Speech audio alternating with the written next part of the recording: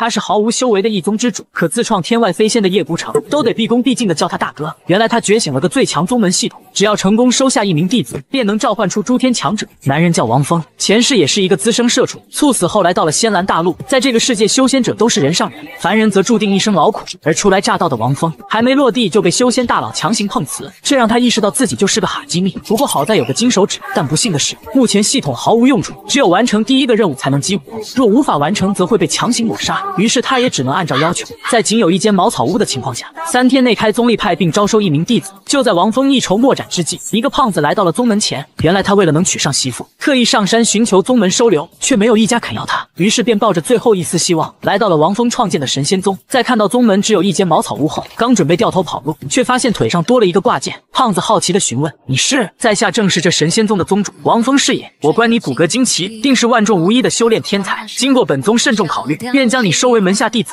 你哥这片三岁小孩呢？还本宗，还门下？就你这还神仙宗？不就有一间破草屋吗？一看你穿的就不像好人。但将死之人何来底线？只见王峰一把搂住胖子，在长达两分半钟的 PUI 下，胖子开始逐渐迷失自我，并幻想自己修道成仙，拯救失足少女的画面。于是乐呵呵的交出了全身家当。王峰见即将完成任务，也是露出了姨母笑。可就在要接过布袋之时，胖子却死死抓住不肯松手，并发出了灵魂拷问：如果我当不成神仙怎么办？还有就是我受不了节食，你得保证我每餐有大鱼大肉。面对胖子的众多无理要求，王峰想给他一记大比斗，但眼看着时限已到，只能昧着良心答应。胖子闻言这才放心松手。就在布袋落手之际，系统提示成功激活最强宗门系统，可打开属性面板查看奖励。于是王峰刚准备点开面板，却被胖子一把抱住。宗主你人真好，不仅收我，还这么宠我，我妈都没对我这么好过。而王峰现在只想查看奖励，在打发完胖子后，便再次打开面板，可看到自己的人物属性后，王峰人麻了。他感觉自己就是个三无产品，不过却分别有一次召唤和抽奖机会。召唤则可以召唤出诸天强者，被召唤之人隶属于宗门之下，并可为宿主教授宗门弟子。听到这，王峰想起了刚来到这个大陆时落魄景象，于是毫不犹豫使用了召唤机会。片刻后，一位白发少年映照而出，这惊人的异象吓坏了胖子。只见他连忙扑进屋内，本想将消息告诉王峰，却发现他正在悠闲的喝茶。于是胖子指着屋外大声说道：“宗主哥哥，你还有心情喝茶？外面都世界末日了。”王峰闻言立马兴奋的来到屋外。原来此前的白发少年正是白云城主叶孤城。可王峰却心存疑，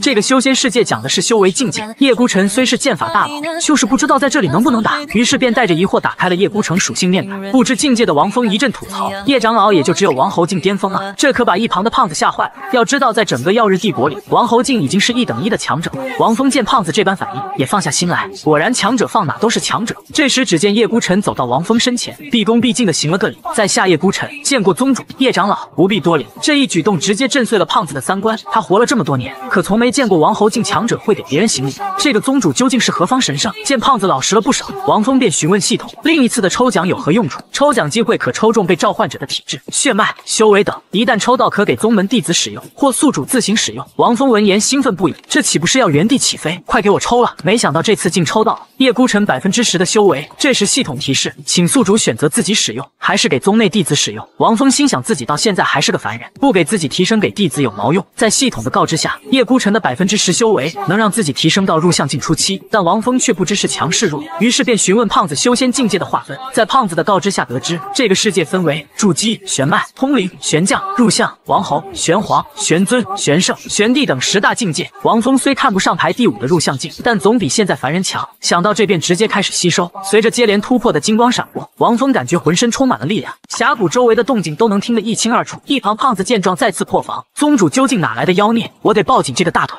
于是连忙朝王峰扑了过来，接着就是一顿猛磕。弟子一定刻苦修炼，绝不辜负宗主的栽培。与此同时，空中一位少女踏鸟而来，这也成功引起了王峰的注意。一旁叶孤尘提醒道：“此女应该是修炼者，而且底子和修为都不俗，即是同道中人。从我神仙宗上方过去，我们理应打个招呼。叶长老，不如你去招呼一声。”叶孤城闻言，握紧手中长剑，并将其插入地面，大喝道：“不知天上的是哪路朋友，还请下来一见。”说罢，瞬间拔起长剑，只见一阵飓风拔地而起。王峰见状大惊：“江湖儿女打个招呼，都要搞这么大阵仗的吗？”女人见此飓风，瞬间花容失色，随后脚踏坤坤，一个急刹才勉强在飓风前停下。这时，一张传单飘在女人眼前，她以为是某种暗器，于是连忙拔出腰间佩剑，直接刺向眼前传单。而此时，叶孤尘大喝：“莫要毁我宗物品！”说罢，缓缓拔出长剑，接着一剑挥出，只见剑气瞬间会在传单之上，直接呼到了女人脸上，女人应声落地。王峰见叶孤尘太过粗暴，便吩咐胖子前去打个招呼。胖子蹑手蹑脚的走到女人身前：“这位女上仙，你还好吗？”叶孤城见状便撤去了传单上的灵力，女人这才如释重负，随后怒骂道：“究竟是谁乱丢垃圾？”王峰闻言淡定上前：“这不是垃圾，而是我神仙宗的传单。”女人先是看了眼传单，然后又询问道：“这里就是神仙宗？”“没错，本人正是神仙宗宗主。”就在这时，系统提示：“恭喜宿主发现一位天才，激发新任务，收满十位弟子，奖励分别召唤和抽奖机会十次。”王峰心中大喜，这次竟然奖励这么多！刚刚只收了胖子这个水货，就换来叶孤城这个剑道大佬。如果这次能把女人收为弟子的话，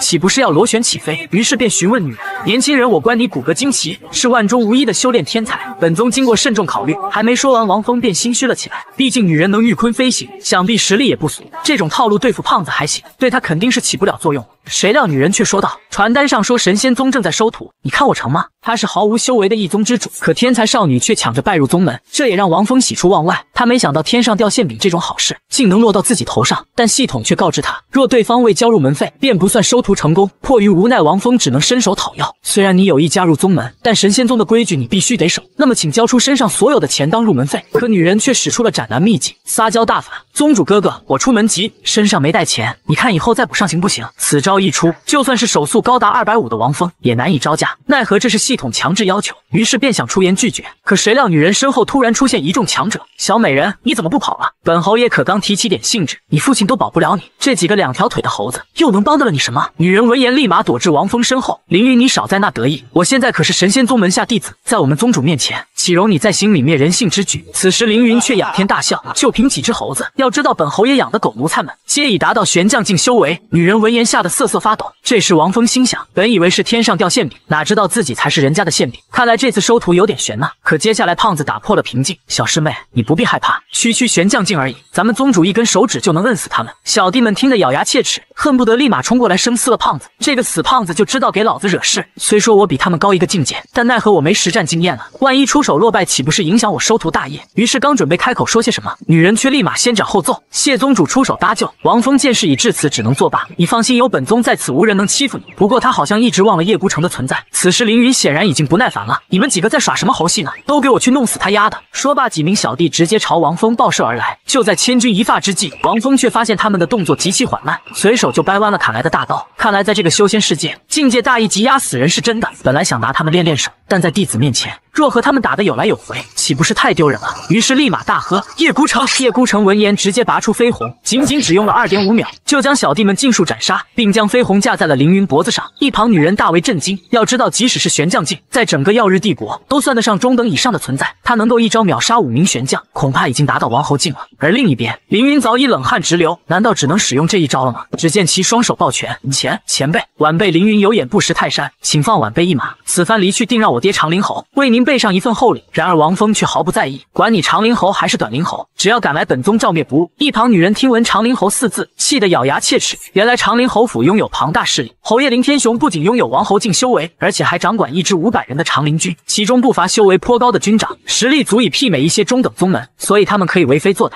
把我迫害，而我也只能逃。然而这个神仙宗的宗主却不把长灵侯府放在眼里，说不定他真的可以为我复仇。王峰也被其突然一跪惊到，于是连忙询问：“你怎么了？为何突然行如此大礼？”宗主，一开始我的确是为了避灾才加入的神仙宗，不过现在我确信宗主定能替林家主持公道。王峰闻言很是好奇，你和凌云究竟有何仇怨？弟子在一次外出历练中遇到了长陵侯府的小侯爷凌云，谁料他觊觎弟子美色，欲要欺辱，却被弟子侥幸逃脱。本以为此事就此过去，可推开家门后，才发现凌云竟带着长陵府强者屠戮了我林家上下几百口人，在父亲的拼死掩护下，才有机会逃离虎口。杀父之仇不共戴天，若能亲手报仇，今日过后，弟子定为宗主亲倾尽所有。你放心，不管你是不是本宗门下，这件事本宗都要伸张一番。他是毫无修为的废物宗主，可他却能一秒达到入相境，就连叱咤风云的叶孤城都得乖乖的当他小弟。只因男人觉醒了个最强宗门系统，只要不断收徒，就能召唤诸天强者，还可抽奖获得无上修为。就在刚刚，王峰答应小五定为他主持公道，然而被擒获的凌云却不再老实。只见他将手杵进土里，随后掀起一阵尘土，从而借机逃跑。王峰看着即将逃跑的凌云，不但不慌张，反而吐槽起来：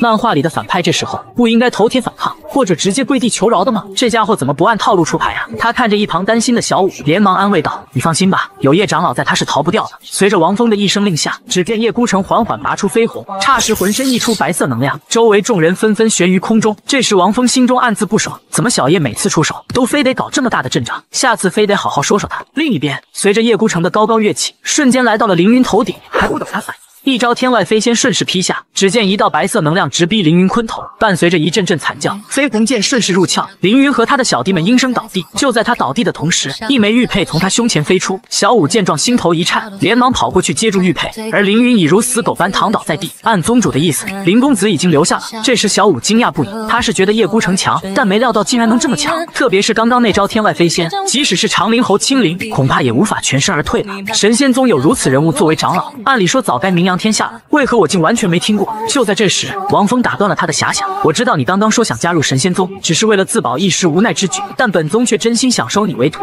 不过念在我宗门乃隐士大宗，你可以在熟悉之后再做定夺。看着小五满脸兴奋的样子，王峰不自觉的得意起来。嗨嗨嗨！我不愧是当红漫画家，情节火候拿捏的那叫一个炉火纯青。这时，小五双手递过一枚玉佩，这枚玉佩乃是林家祖传之物，今日承蒙宗主大恩为我复仇，我愿以他当我的入门费。王峰看着玉佩，心想，也不知道系统认不认。不过是是。也没损失，可下一秒，王峰又蒙圈起来。小五怎么突然脸红了？原来这枚玉佩对他极其重要，是他父亲传给他的，用来以后做定情信物用的。年幼的他觉得这是祖传玉佩，自己定不会拿它送人。可谁料今天他却亲手将玉佩送给了王峰。在收徒小五后，王峰也是获得了系统奖励，分别一次召唤和抽奖机会。随后，王峰拍了拍小五肩膀：“现在你已是神仙宗弟子，你的仇便是宗门的仇，你可以先取个利息。”小五闻言，眼眸瞬间充满杀意。只见他捡起地上树枝，缓缓走向如死狗。般的凌云灭族之仇如血海般深沉，此仇不报我枉为林家大小姐。说罢，直接刺穿了凌云胸口。凌云，你夺我祖传玉佩戏弄于我，可曾想过今日你高高在上，以为有着强大后盾便可只手遮天？可曾想过今日小五凶残的样子吓坏了一旁的胖子宗主小师妹？他也罢，就让他宣泄宣泄吧。父亲，小五今天亲手为你复仇了，您在下面可以瞑目了。与此同时，系统提示：恭喜内门弟子林飞武击杀玄将境强者，获得三百点宗门值。看似人畜无害的胖子，没想到竟然是。个绝顶妖孽，可小五却连顶尖天骄都排不上。就在他亲手为父报仇后，便扑通一声跪倒在地，多谢宗主与叶长老助小五报此血仇。从今以后，小五生是神仙宗之人，死亦是神仙宗之魂。本宗只是给你个修炼平台罢了。至于能否成为真正的强者，终究还是要靠你自己。说罢，王峰便扶起小五，但你记着，我神仙宗无惧任何人，既有血仇，哪怕是天大之人，也必杀之而后快。小五闻言一阵愣神，眼角泪水缓缓流出。我定不辜负宗主栽培。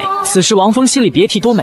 我不愧是当红漫画家，对人心的把控简直是完美。但现在把大话吹出去，到时候拿什么教人家呢？他可不像胖子那种棒槌，随随便便扯个一年入相就会上当受骗。就在这时，叶长老挺身而出：“你修的可是剑道？”小舞闻言立马拱手回道：“是的。”叶长老，你可愿拜我为师？王峰见状，连忙起哄。叶长老主动收徒，可比石头开花还难。你这傻丫头，还愣着干什么？小五闻言秒懂，立马跪地行礼：“弟子拜见师尊。你的剑势不错，但传授你剑法之前，要先处理你被追猎石兽的内伤。赶紧起来吧，随我先去疗伤。”此刻，王峰也很是欣慰。本来宗门就自己一个孤家寡人，现在不仅有了叶护法，又有了林飞武这种天资聪慧的弟子，关键还不用自己教，真是太爽了。然而一旁的胖子却难过了起来：“小师妹比我晚入门，都能拜入叶长老这等强强者之下，我。”身为大师兄岂能让小师妹比下去？于是立马瞥向一旁的王峰宗主，不知接下来你对我有何安排？王峰则是拍了拍胖子的肚皮，你瞧瞧你这身材，该减减肥了。去吧，把茅草屋周围收拾一下，顺便扫干净一些。这可是我神仙宗的脸面。胖子闻言心如死灰，但也只能照做。只见他一边薅着杂草，一边埋怨道：“招揽前说的天花乱坠，把我夸得跟宝似的，结果小师妹一来，我就变成草了。”然而另一边，王峰正美滋滋的查看奖励。上次收胖子就能抽出叶孤城，这次收了小五，不知能抽出什么。大佬，可在看到长老上线才五个，王峰立马打消了这个念头，决定先留着日后再抽。这时界面下方的宗门值引起了他的注意，于是连忙询问系统这有何作用。在系统的告知下得知，宗门值不仅可以兑换抽奖机会，还可以用来升级系统。随着系统的等级提升，可让宿主召唤出更强的强者和法宝，以及容纳更多的弟子等等。王峰听得眼睛都直了。那宗门值获取有哪些方式？宗门值获取有以下三种方式：第一，完成系统发布的任务；第二。击杀来犯之敌。第三，招收顶尖天骄入宗。听到这里，王峰纳闷不已。小五能在十八九岁修炼到通灵境巅峰，怎么这也算是一个顶尖天骄吧？那他加入宗门为何没增加宗门值？可没想到的是，小五在系统的评判下，竟未能达到顶尖天骄行列。出于好奇，王峰便询问起自己的天赋。然而系统给出的判定也比较中肯。可当他询问起胖子的资质时，系统却提示探查胖子资质需要花费一百点宗门值。王峰闻言暗自吐槽道：“这尼玛也太黑了吧！探查一个凡人都要一百点宗门值，但出出。”于太好奇，他便点击了查探按钮。可系统给出的判定直接惊呆了王峰，胖子竟位列绝顶妖孽行列！我靠，就这货也能位列绝顶妖孽？他是好吃懒做的废物，却身具世间顶级特殊体质，与天同寿，与地平齐，甚至拥有天下最强防御。就在王峰探查完胖子资质后，竟发现他能位列绝顶妖孽行列，可把他吓坏了。就这玩意能位列绝顶妖孽？但系统却极其肯定，胖子身怀玄灵龟仙之体，只是尚未激活而已。此时王峰很是不解，这玄灵龟仙之体又是什么？在系统的告知下得知，玄灵龟仙之体乃世间顶级特殊体质，拥有绝对防御以及绝对寿命，只要不受到致命伤害，便能永垂不朽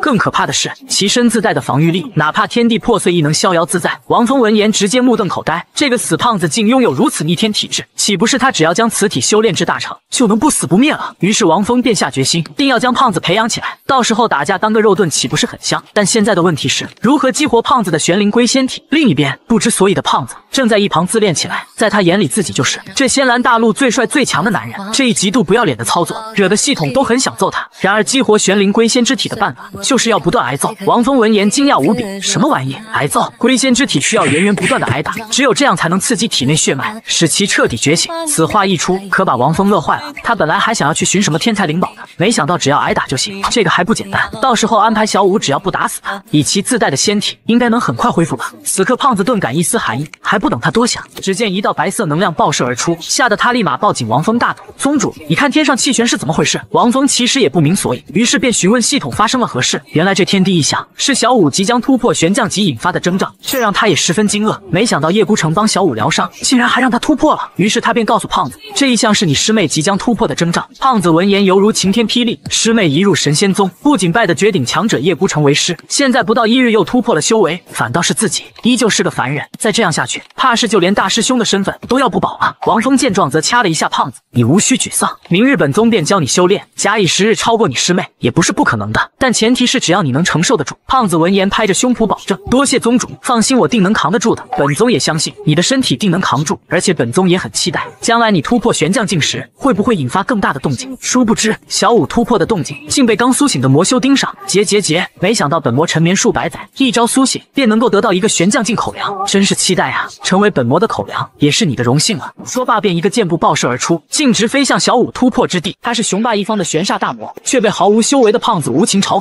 可大魔却不敢杀他，不是因为他有多牛逼，而是怕脏了自己的手。原来正是小五突破时的异象，吸引了刚刚苏醒的大魔。由于急需恢复实力，便向神仙宗报射而来。另一边，随着异象不断的回缩，小五成功突破到了玄将境，王峰也顺势获得了一千点宗门值。同时，他的心里也一阵窃喜，这小妮子不愧是天才，才入门一天就和我仅差一个境界。还好我有系统在，不然被他追上来，我的老脸可往哪放？就在他遐想之际，只见小五连忙拱手道谢：“多谢宗主给了我这个机会。”这可把一旁胖子嫉妒坏了。区区玄将境算个啥？等我这个当师兄的一年入相，那才叫厉害。而王峰则顺水推舟道：“以后好好跟随在叶长老身旁，未来本宗希望你能将神仙宗之名发扬光大。”与此同时，大魔已经来到王峰身后。结结结！本以为只有一个玄将境口粮，没想到还有几只蝼蚁，倒也勉强能下口。王峰闻言，立马唤出系统，并花费一百宗门值探查其完整来历。正所谓知己知彼，百战不殆。此人给我如此之大的压力，甚至觉得叶孤城都不一定能够战胜此人，因此还是知道全面点比较好。很快，系统便告知王峰，此人乃千年前祸乱耀日帝国的玄煞大魔，其修为已达到玄黄境巅峰，后因被耀日帝国大帝封印，目前处于刚刚破封状态，修为仅有王侯境巅峰。王峰闻言，这才松了口气，还好不是巅峰状态，不然光凭叶孤城哪能顶得住？谁料身旁胖子却叫嚣起来：“你是何人？竟然敢犯我神仙宗？还不速速滚开！否则我神仙宗叶长老定让你死无葬身之地！”大魔看着寒酸的茅草屋，心中极其不屑：神仙宗什么疙瘩里跑出来的宗门？本魔听都都没听过。还有你这个胖子，更是嫌命长，也敢对本大魔出言不逊。王峰见状不禁感叹：没想到胖子竟然有如此胆量，以一介凡人之身怒骂王侯境巅峰的强者。一旁小五连忙提醒师兄：此人气息不比师尊弱，至少也是王侯境修为。大魔见来了个识货的，直接大笑了起来：你这小妮子倒还蛮有眼光，届时定让你看看我的大宝贝。谁料胖子根本不带怕的，王侯境修为又能如何？这不是还有宗主吗？而且宗主说了，一年入相三年玄黄，捏死他也就是一根手指的事。小小蝼蚁也敢跑到神仙宗撒野，真是小乌龟跳悬崖，不知死活。此话一出，竟然还真把大魔唬到了。只见他看着王峰，很是不解。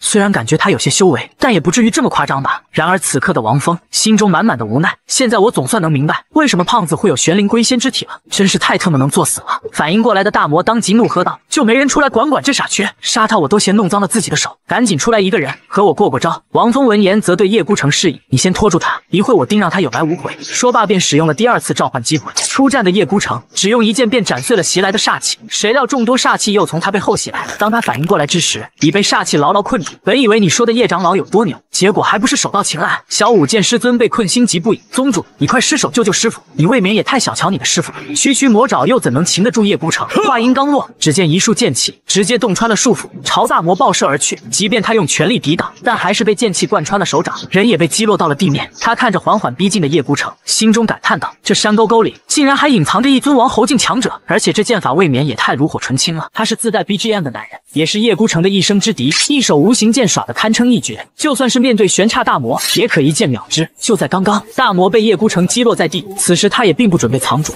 只见其周身煞气四溢，势必要找回些场子。可这时，胖子又跑出来作妖，只见他指着大魔就是一顿狂喷。哟，打不过就想跑是吧？哪有这种好事？除非你从我胯下钻过去，不然休想完好无损的跑路。此话一出，直接给大魔干红温了。死胖子，你睁大你的狗眼，好好看看，我这是要施展绝招，你再瞎逼逼，信不信我？还不等他说完，王峰一拳就怼在了胖子脸上。事后胖子一脸无辜，宗主，你揍我干嘛？我看你脸上有蚊子。其实心里想的是，这个死胖子太欠揍了，都差点忘记了他是我们这边的。而此时大魔看着手中的伤疤，调侃起了叶孤城。破风之后，你是第一个能彻底激起我食欲的人。为了表示对你的尊重，我决定将亲手撕碎你。说罢，只见一只巨大血色手印已来到叶孤城头顶。一旁小舞见状十分担心，可他却不慌不忙，顺势将飞鸿悬于胸前，随后一招天外飞仙迎面而去。两者触碰之际，狂风四起，地动山摇，伴随着轰隆轰隆的炸响声，整座山谷都被夷为了平地。但神仙宗的茅草屋却依旧坚挺如初。虽然大魔放出了绝招，可叶孤城依旧完好如初。此时他开始担心起来，叶孤城实力只逊色我几分，若我尽全力出手，固然有把握将其击杀，但那个老家伙必然能察觉到我已经破风，那时我便只能逃亡了。于是便决定先苟一波，等实力恢复再来一战。叶孤城闻言，顺势收起了飞鸿。不好意思，你今天怕是走不了了。我拖住你的目的已然达到。就在他说话之际，天空突然降下了鹅毛大雪。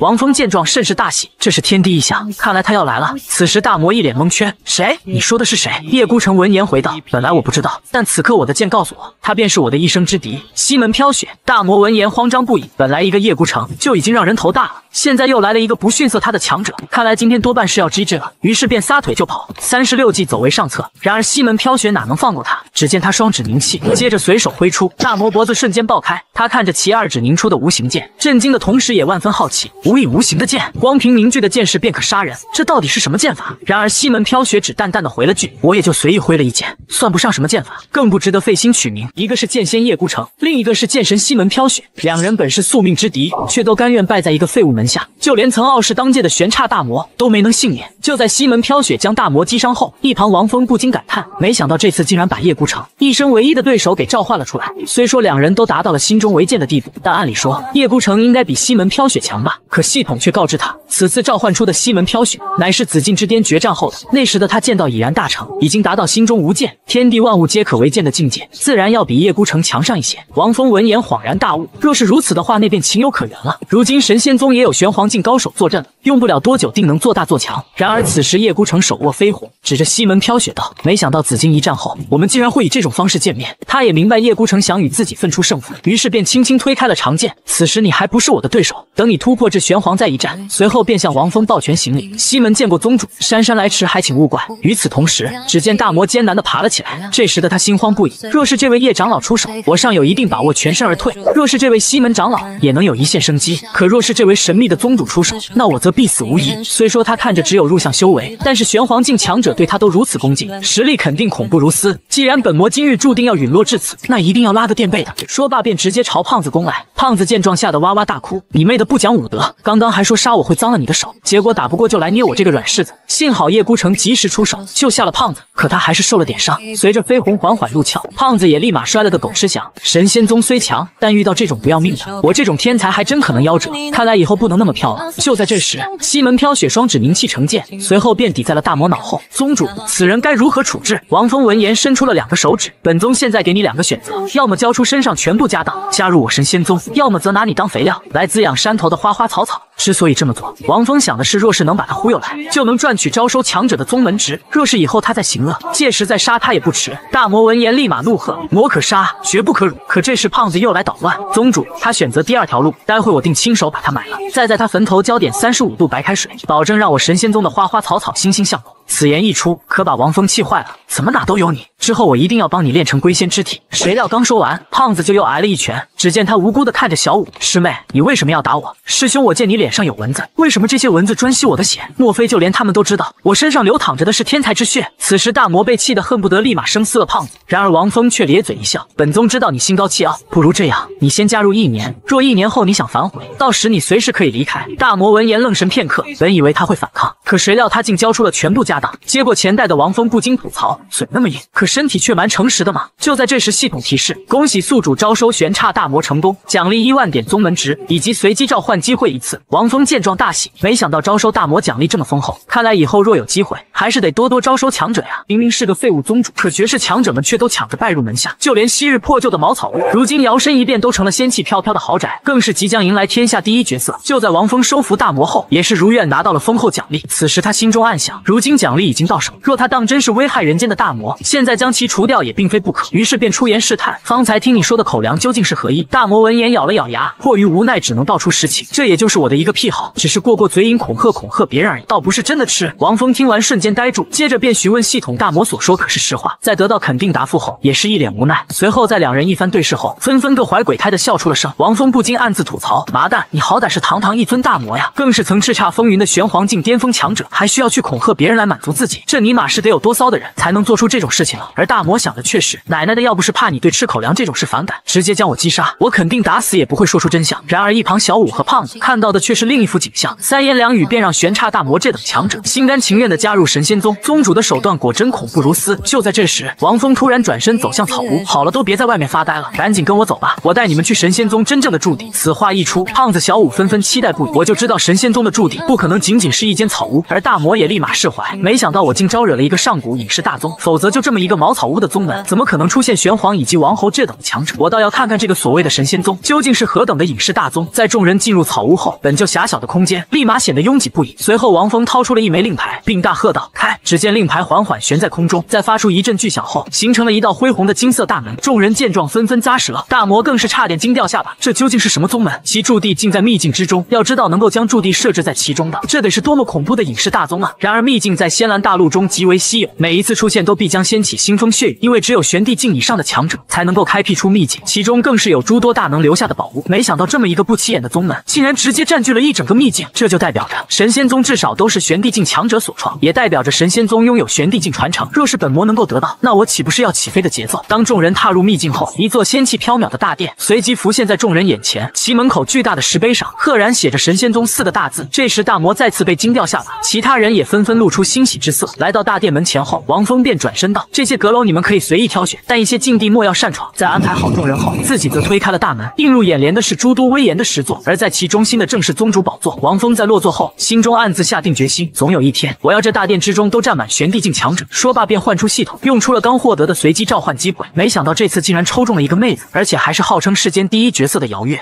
是移花宫第一美人，也是女子中的顶尖高手，如今却要对个废物唯命是从。原来就在一行人来到神仙宗真正的驻地后，王峰便使用了刚获得的召唤机会。没想到这次意外的好运，竟随机召唤出了世间第一角色移花宫公主姚月。于是王峰立马查看起她的属性面板，经系统介绍，姚月乃是某龙武侠小说人物，移花宫的大公主，武功与美貌当世第一，更是能与天下第一神剑燕南天不相伯仲。修为也是达到了玄黄境初期，一手明玉功移花接玉耍的飞起。王峰见状不由感慨，这么看来。真不愧是小鱼儿与花某缺中的女子第一高手，果然强大。就在这时，只见石板上落下众多冰花，王峰寻迹抬头看去，先是一只玉脚缓缓踏出，接着一副冷颜浮现，最后全身而出之时，其傲人的身材、修长的大腿，直接给王峰看呆了。这就是世间第一绝色，前世即便我画断手，估计也画不出她的美吧。姚月落地后，第一时间便向王峰行起了礼。姚月见过宗主。此时王峰心里暗爽，能让武林第一角色对我低下头，这种感觉也太爽了。但嘴上却说着无需多礼，以后你便随侍本宗身旁吧。姚月闻言立马应道：“是宗主。”说罢便落坐在石椅之上，可其自身散出的寒气让王峰这小身板直打哆嗦，于是他便让其暂且离开，待外出之时再随侍身旁。姚月行礼走后，王峰不禁吐槽：这女人修炼的明玉功也太恐怖了，哪怕她不刻意运功，我和她待在一起都快被冻僵了。姚月在离开大殿后，便随意钻进了一处客房，恰巧在她进去后，大魔就从隔壁推门而出，嘴里还不停念叨着：真是奇怪，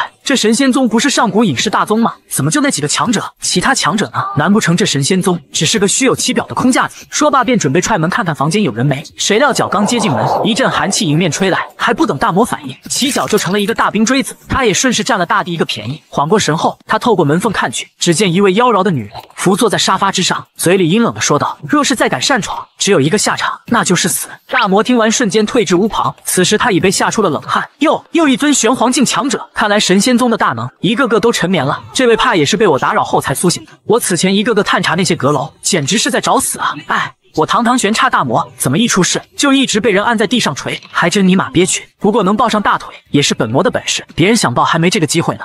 似小鸟依人的小五，没想到也是一个暴力狂，这可苦了肥嘟嘟的胖子了。就在众人落住神仙宗后，次日一早，小五便来到了胖子屋外，看着满脸愁容的他，胖子不禁流出了一丝冷汗，于是便好奇的询问：“不知师妹这一大早的找我何事？”还不等他反应，小五的手已经扶住了胖子的脸颊。师兄得罪了。说罢就是一记大比斗，只听一声巨响，胖子直接倒飞了出去。随着他的落地，整栋楼层都在为之颤抖。看着倒地不起的胖子，小五刚想上前查看，可他却又立马坐了起来，接着不可置信的看着小五：“师妹，你这是要干啥？”可小五却极其震惊，心想：宗主果然没有骗我，师兄果真拥有可怕的体质。刚才那一击，我可是使用了玄将境十分之一的力量，但师兄可是一个凡人，竟还能完好无损的站起身来。于是无奈的表示：师兄，小五这也是为了你好，你打我居然还说为了我好，师妹就你这架势，分明是觊觎我神仙宗大师兄之位，想杀师兄夺位啊！小五闻言也是说出了实情：师兄是你想多了，是宗主让我与你对练的，他还特别嘱咐我，只要不把你打死，怎么打都行，因为宗主说你有绝世神体。得知此事的胖子惊讶不已，尊都假都绝世体质，我自己怎么不知道？师妹你就老实告诉我，是不是我哪里没做好得罪了宗主？师兄你可真爱说笑，你真的有绝世体质？那你难不成我真是绝世天才？也不对啊，绝世天才不应该修炼如喝水般轻松随意吗？可我怎么还是个凡人？小五闻言解释，那是因为你的体质还没有激活。胖子听完迫不及待的追问，怎么激活？谁料下一秒就被小五一记飞踢正中面门，很简单就是被打。不曾想这一脚竟有整容效果，直接将胖子踢出了卡兰兹大眼。此时胖子连忙求饶，师妹师妹秀逗麻袋，要不还是宗主来可好？然而小五却俏皮的回道，宗主就是怕不小心一掌将你拍死，所以让我先来锤炼锤炼你。看着小五灵气环绕的手刀，他吓得差点就要尿了出来。而此刻的王峰听着阁楼发出阵阵杀猪般的惨叫，心中也是不由感慨，有此等倾尽全力帮助师兄的好师妹，胖子必能激活体质，成就绝世天才。若不是顾虑宗主的形象，我还真想亲自动手将他给揍成玄灵龟仙之体。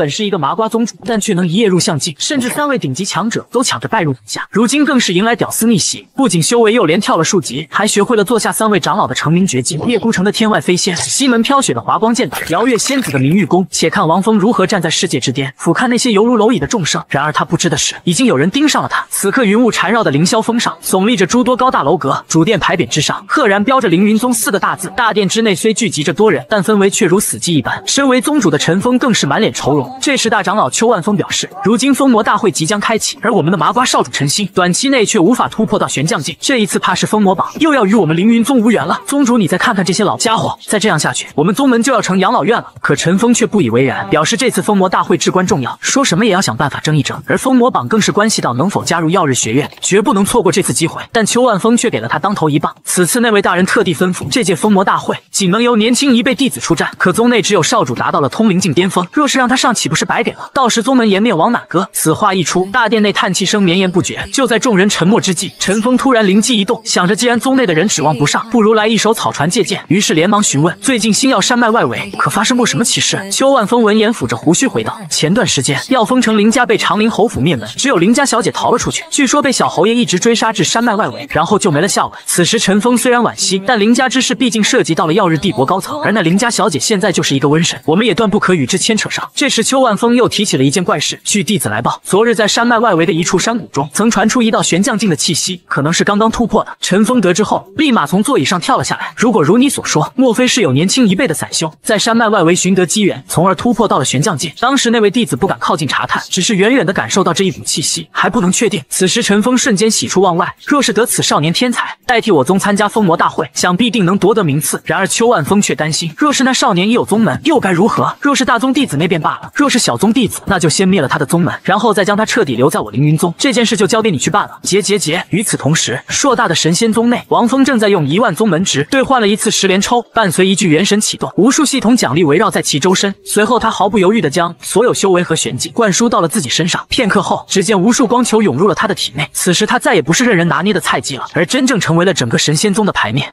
本是公认的垃圾宗主，可顶级大佬们都抢着拜入门下，如今更是一跃成了当届最强。原来他拥有个最强宗门系统，只要不断收徒，就能召唤诸天神魔，躺着就能变强，是种什么体验？然而就在今天，神仙宗迎来了不速之客，奉命而来的邱万峰，在看见其宗门牌匾后，神情之中竟是不屑。这什么狗屁宗门，还敢妄称神仙二字？我凌云宗可是星耀山脉外围最大宗门，都不敢这么叫。关键还以茅草屋为宗门驻地，真是狗见了都摇头。谁料他话音刚落，只见草屋墙壁轰然倒塌，伴随而来的是一只巨大。血泉还不等他反应，人就和血泉来了次亲密互动。由于承受不住这份爱意，邱万峰直接把头害羞的埋进了墙里。这突如其来的屈辱，让从小就在宗门横着走的他暴怒不已，于是连忙狗吠起来：“宵小之徒竟敢偷袭老夫！要知道我可是凌云宗的大长老，你们要是敢再揍我，我的宗门定让你们求生不得，求死不能！”然而就在他狗吠之际，王峰和大魔已走到他的身前。此时大魔兴奋不已，心想总算来了个冤大头，能让自己撒撒气了。而王峰则一脸阴沉：“什么狗屁凌云宗，压根就没听过！你一大早就在我宗门口狗叫，是什么意思？”邱万峰见状震惊不已，他简直不敢相信，为何一个疙瘩小宗竟然会有这等强者？王峰见其许久不肯开口，于是便瞥了瞥身旁大魔，小魔呀，我们神仙宗向来以德服人，这个老 baby 就交给你了，你得让他心悦诚服的开口。大魔闻言心领神会，只见他迅速凝出巨型血手，随后一把将邱万峰牢牢抓住，同时嘴中大喝：“小老儿简直不知死活，若是不想这块石头成为你的坟墓，我劝你还是老老实实的开口为好。”此时邱万峰可被吓坏了，心想这尼玛嘴上说着以德服人，下手却重拳出击，这要是是不说。恐怕明年的今天坟头都长草了。于是连忙交代：“我名邱万峰，乃是凌云宗的大长老，来此地是为了探查之前出现在山谷中的玄将境气息。”王峰闻言若有所思：“这玄将气息，想必定是前阵子刚突破的小五吧？不过你探查此人所为何事？只因封魔大会在即，而我宗未有一尊玄将境弟子，无法争得封魔榜排名，所以才来寻找天才弟子带回宗门。”可王峰却听得一脸问号：“封魔大会那是什么？”邱万峰则很意外：“你竟然不知封魔大会？”可心里想的却是：这等蛮横无理的小宗门，不知知道也不是什么奇怪的事情。谁料就因他犹豫了二点五秒，大脸盘子就和大地来了次亲密互动，随后他也只能一五一十交代起来。封魔大会是为了镇压封印千年的玄刹大魔所办，堪称耀日帝国十年一次的盛会。由于玄刹大魔恐怖无比，其一身精纯魔气，哪怕是被封印，依旧会一散而出，导致封印他的地方都会被魔气所侵染。所以耀日大帝组织帝国境内所有宗门强者去击杀被魔气侵染的妖兽，来削弱玄刹大魔的实力。但这一次，耀日大帝传下旨意，只让年轻一辈弟子前往。因此，如今所有宗门为了能够夺得封魔榜靠前排名，如今都在疯狂培养宗内弟子，以及寻找在外散修天才。此时，王峰听得一脸惬意，不得不说，你的眼光可真毒啊！人海茫茫中，一眼就相中封魔大会的正主了。这也把一旁大魔听笑了，结结结，没想到封魔大会竟然是专门为我举办的。此刻，邱万峰早已听得汗流浃背，眼眸之中尽是惶恐之色。为你而举办的，难道你就是？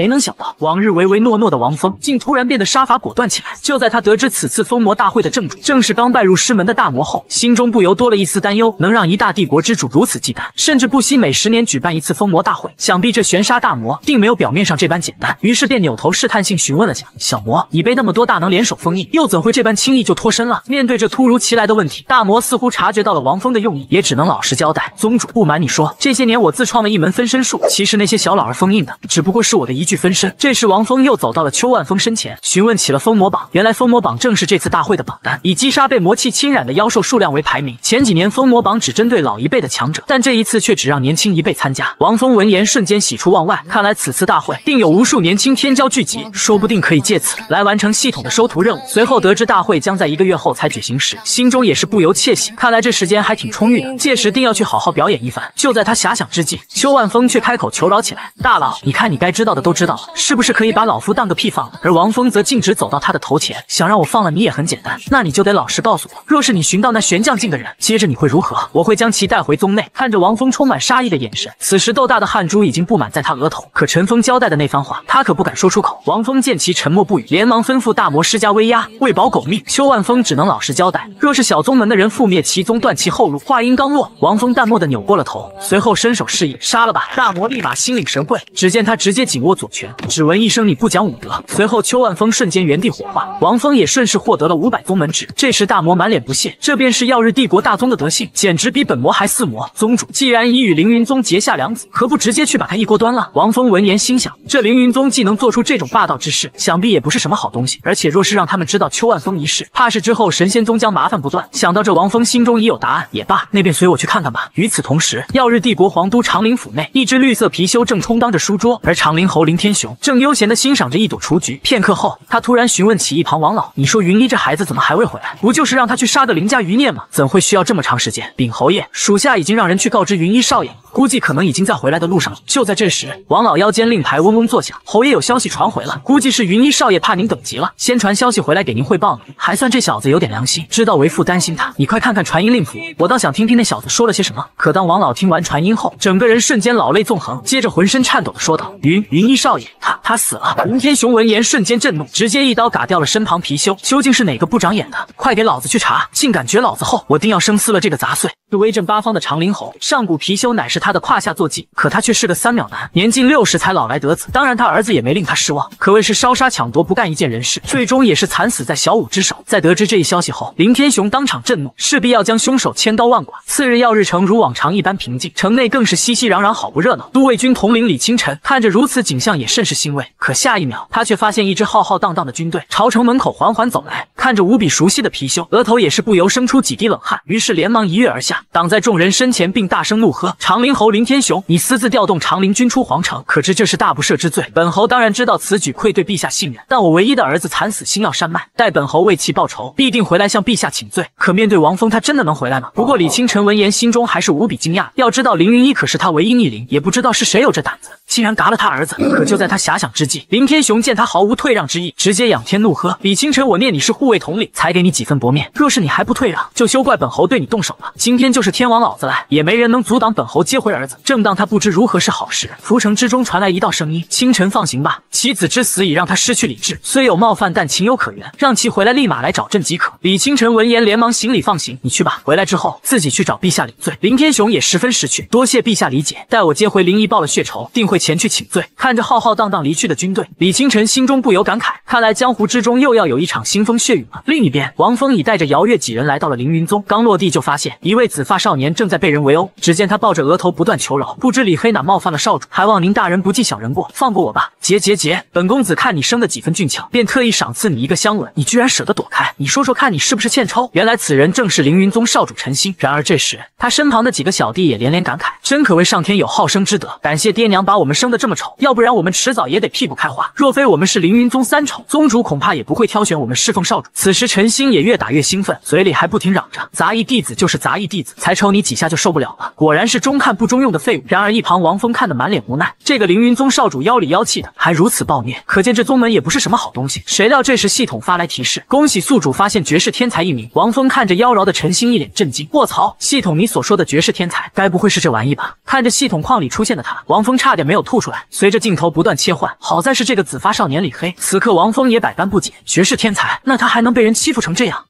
乃是天下第一蛇蝎美人，可如今却被人当面调戏，而下一秒，调戏之人纷纷人手落地。就在刚才，系统提示王峰，小黑子就是那个绝世天才。可他看着如此懦弱的男人，脸颊不禁生出了几滴冷汗。被人打成这熊样，也能叫绝世天才？难道他跟胖子一样，虽然是个凡人，却拥有绝世体质？想到这，只见王峰一跃而下，连忙上前阻止：“娘炮，住手！不对，是住嘴。”然而陈星却一脸不屑：“我倒要看看，究竟是哪个不长眼的，敢让老娘住嘴！”可当他看到王峰的容貌后，立马变得病娇起来：“小公子，我劝你直。”直接束手就擒。老娘的香吻，今日就由你来销售吧。王峰听完差点没笑出声，随后淡漠的开口道：“姚月，替我去找他嘴。”话音刚落，伴随着一阵寒气，姚月已来到众人身前，其倾城的容颜可把三丑馋坏了。但陈星就不一样了，只见他已被气得浑身颤抖，瞳孔之中更是布满了血丝。这世上绝不允许有人比本公子长得还美！你们几个速将这女子擒住，本公子定要让她香消玉碎。三丑闻言，迅速将姚月围住，动手前还不忘调戏一番。小美人，你能落到我们凌云宗三丑手上，也算是你的运气了。若是小爷出手，恐怕你只能求生不得，求死不能了。此刻，王峰也为他们捏了把汗。我尼玛身为宗主，都不敢去调戏姚月，我都不敢想他们的下场会有多惨。只见姚月缓缓将手指放在其中一人的脸颊之上，随后轻轻一划，接着一个华丽转身，三丑瞬间变成了五手冰雕。这操作也把陈星吓坏了。还不等他多言，姚月已瞬移至陈星身前，并单指抵住了他的脸颊。谁料就在他濒死之际，小黑子却伸手拦下了姚月的攻击，这也导致他的手臂被冻成了冰雕。看着他面无表情的样子，王峰此刻十分不解。姚月见状也连连忙撤回了灵力。他这样凌辱你，你难道还要救他？这时瘫坐在地的陈星却大笑起来：“小黑，只要你杀了他们，本公子定会好好赏赐你十个香吻。”话音刚落，只见一只手掌狠狠地锁住了他的脖子，随后一把将其高高举起。此刻陈星还想做垂死挣扎。小黑，你好大的胆子，竟敢这么对我！而小黑子眼神之中尽是杀意。我本想留你到明天，结果你偏偏非要找死。为了不让你死在别人手里，令我抱憾终身，我唯有抢先一步动手了。看着倒地的陈星，他这才有所释怀。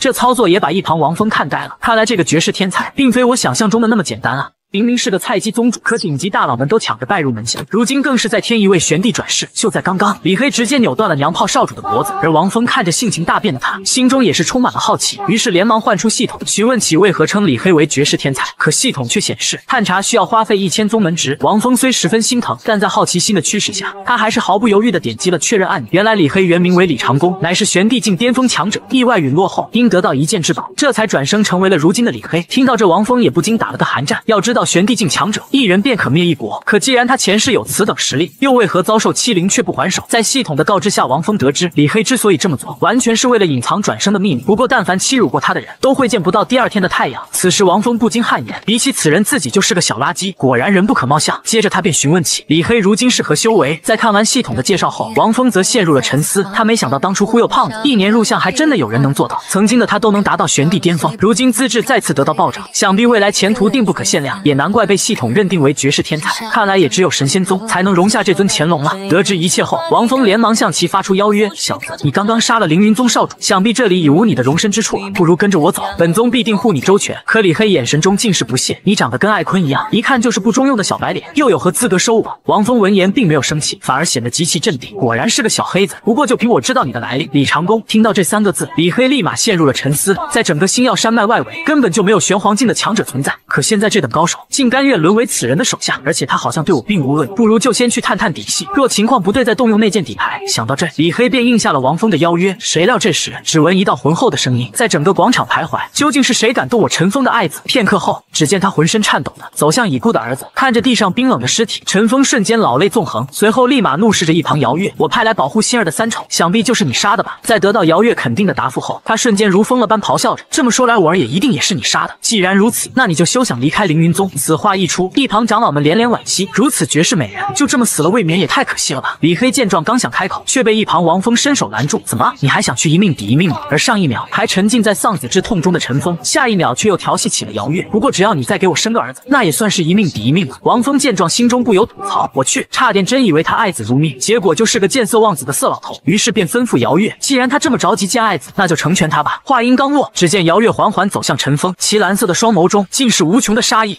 这五貌双全的绝世美人，如今却被个糟老头当众调戏，甚至还口出狂言，让其给自己生个大胖小子。可姚月又怎会惯着他？只见他缓缓走向陈峰，双眸之中尽是无穷的杀意。可正当要开打之际，陈峰却拍了拍自己的胸脯：“其实本宗也是个怜香惜玉之人，为了不伤和气，不如我出一掌。美人若是能躲过，我儿便算是白死；但若是没能躲过，那便留下来给我生个大胖小子。”而姚月并未言语，则是死死地盯着陈峰。见女人沉默不语，他竟恬不知耻地说道：“既然美人不反对，那本宗可就当你答应了。”说罢，只见无数白色能量瞬间汇聚在其掌中，接着便连忙跃至空中，嘴中并大喝道：“凌云掌！”面对袭来的巨大掌印，姚月竟没有丝毫闪躲之意，而掌印在接触到他之际，并没有对其造成实质的伤害，反而形成了一团巨大的气体，将其困至空中。数秒后，只见一滴血珠从空中滑落，接着瞬间化作无数红色针芒，急速的朝姚月爆射而去。最后，广场之上只留下一道巨大掌印。观战的凌云宗长老们这才明白，原来宗主之前的行为都是为了迷惑对方，好使其一招毙命。不过这也未免太暴殄天物了，至少也要先享受一番啊！可陈峰却表示，绝世美人又如何，敢杀我儿就唯有一死。一旁李黑十分不解，便连忙扭头询问王峰：“你竟然眼睁睁看着他被杀？你可能对姚月战力有些误解，还有你哪只眼睛看到他死了？”而就在这时，只见空中坠落一具尸体，长老们见状惊慌不已：“宗主，你快看，从云上掉下来的可是我们凌云宗的人啊！”听闻此言，豆大的汗珠不停从陈峰脑门滴落，还不等他反应，姚月已出现在其头顶。刚刚你那一掌，我躲过了。说罢，便从高台一跃而下，手掌之上蓝色灵气环绕。现在我这一掌，就看你能不能躲过去了。看着逐渐逼近的女人，陈峰虽有些慌张，但还是凝出了一掌抵挡。本宗就不信你当真如此之强。而就在两掌触碰的瞬间，只见一道冰墙横在了陈峰眼前，转瞬间，冰墙之上形成了无数冰刺，径直朝他刺去。仅过了两秒，陈峰变成了一只刺猬，也是如愿能见到自己的儿子了。这武貌双绝的玄黄大佬，如今却被个入相老头当众调戏，甚至还口出狂言，让其给自己做小老婆，这可把姚月彻底激怒，仅仅一击便让老头变成了刺猬。看着眼前阴狠的女子，凌云宗长老们躲在一旁瑟瑟发抖，他们不曾想入相境巅峰强者，在这个女人面前竟如此不堪一击。眼下宗主已死，正当他们不知如何是好时，王峰却淡漠表示：“我以神仙宗宗主之名宣布，世上再无凌云宗，你们就原地解散吧。”说罢便带着姚月离开了此地。看着逐渐远去的俩人，王长老这才松了口气，随后便。便立马换了副嘴脸，别以为撂下几句狠话，凌云宗就会因此解散。既然宗主和少宗主都已经亡了，为了宗门的延续，看来我们得尽快选出下任宗主了。可一旁的徐长老颤抖着表示，凌云宗不会再有续任宗主了，表情之中尽是惶恐之色。话音刚落，只见一块巨大的冰团正急速的砸向宗门大殿。随着它的落下，只闻一声巨响，整个宗门只剩下无数残骸。王长老看着眼前的景象，瞬间心如死灰。谁料就在这时，一道洪亮的声音响彻整个广场：“陈峰何在？”王长老瞬间被吓尿，一阵以为那个煞星又回来了，可不曾想却是长灵猴。他这才缓过神来，也对，那个煞星杀了陈峰刚走，又怎么会折返回来找他呢？可就在他遐想之际，长灵猴已来至他的身前，并大声询问道：“你就是陈峰？”看着眼前凶狠的貔貅，王长老说话都变得结巴起来：“不，我不是，我们宗主已经死了。”这时长灵猴也表明了来意：“吾乃耀日帝国的长灵猴，你可知本侯之子凌云一是被何人所杀？”见其子被杀，王长老也是被惊得合不拢嘴，究竟是何人有如此大的胆子，竟敢对一国侯爷之子出手？在一番思索后，他便准备来一手祸水东引。回侯爷。我知道是何人杀了您的儿子。听闻此言，只见长林侯双眼之中布满了血丝。其实杀小侯爷之人，也正是杀我宗宗主的凶手。而那人自称是神仙宗宗主。来了，一向靠嘴输出的王峰，如今又迎来了一位顶级大佬——剑魔燕十三。而就在姚月灭宗后，王峰便带着众人返回了神仙宗。原本还在看门的大魔，在看见归来的王峰后，便立马放飞了手中把玩许久的坤坤，一个箭步瞬间来到王峰身前，二话不说就是一顿拍。宗主果真神威，仅用了两个时辰，便歼灭凌云宗凯旋归来。这要是放到现代，大魔不是个大堂经理我都不服。与此同时，李黑也顺势落地。一旁王峰再次发出邀请：“你考虑的如何了？可愿加入我神仙宗？”然而在见到宗门驻地后，李黑顿时心生退意。哪怕自己前生身为玄帝境巅峰大能，其所创建的宗门都不敢称神仙二字，而这鸟不拉屎之地的小宗门，竟也敢取这等名讳，简直不知所谓。想到这，他满脸不屑。燕雀安知鸿鹄之志，跟你走这一趟，简直是在浪费时间。听到这话，一旁大魔瞬间不乐意了。只见其一个瞬身便锁住了李黑的龟头，双眸之中尽是滔天杀意。本魔劝你好好跟宗主说话。然而王峰却并没有生气，反而心平气和的继续靠嘴输出。哪怕你前世乃玄帝境巅峰强者，此刻的你也不过是个入相菜鸡。若是在这里动手，你怕不会占到一点便宜？一听是这等强者，大魔连忙缩至一旁。卧槽，这小白脸竟然是大佬转世！纵然是我全盛时期，面对这等存在，都如蝼蚁一般，丝毫没有抵抗之力。王峰见其并没有动摇，便掏出了小世界令牌，准备带他去见见宗门真正的驻地，希望他能有所改观。随着秘境入口的开启，硕大的神仙宗瞬间浮现在其眼前。此时李黑心中也很是震惊。虽说玄帝境强者可以创建小世界，但哪怕前世的自己都没见过如此庞大且完善的小世界。本帝倒是要看看这宗内到底有何玄妙之处。当他刚走入大殿后，王峰则继续输出：本宗知道你身怀至宝，但他还没资格入我法眼。我对你只有一个目的，那便是加入我神仙宗。可李黑似乎并没有所改观。若是我不加入，你又能如何？随着王峰的一个响指，叶孤城和西门飘雪闻声而至。看着眼前又多了两位玄黄大佬，李黑瞬间觉得有意思起来。怎么你想以多欺少逼我加入？靠着那件至宝当底牌，即便是三位玄黄境强者联手，我依旧可以全身而退。王峰刚想说些什么，却被长剑划过地面的声音打断，顿时一股恐怖的威压席卷着整个大殿。只见一位身穿黑色长袍的男子出现在众人眼前。那若是有四位玄黄境强者联手呢？说罢便恭敬地走到王峰身前，属下燕十三拜见宗主。原来此人正是刚刚召唤而出的新大佬，拥有玄黄境巅峰实力的燕十三。相传他是某少爷的剑中，未见到封魔的第一流剑客。他生平的愿望便是与剑帝谢晓峰一决高下。燕十三生平绝学夺命十三剑之后，不但创出了第十四种变化，在与谢晓峰决战时，又创出了代表毁灭和死亡的第十五剑。他原本可以凭借第十五剑杀死谢晓峰，却发现这一剑带来的只有毁灭和死亡。于是为了彻底毁掉这可怕的一剑，便选择割破了自己的喉咙。李黑在见到燕十三后，也是被惊得合不拢嘴。可没过几秒，又调侃起了一旁的王峰：“你身为宗主，却只有玄黄境的修为，你真的配做宗主吗？”谁料他刚说完，燕十三的长剑已悬在了他的脖颈处。看来夺命十五剑有必要重新出世了。而王峰却立马拦住了他：“燕长老，且稍安勿躁，不就是玄黄境巅峰修为吗？只要本宗想拥有，随时都可以。”接着他便查看起拥有的宗门值，看着眼前的数字，王峰也不禁感叹：没想到这么快就手握四万宗门值巨款了，这下可以好好的装一番了。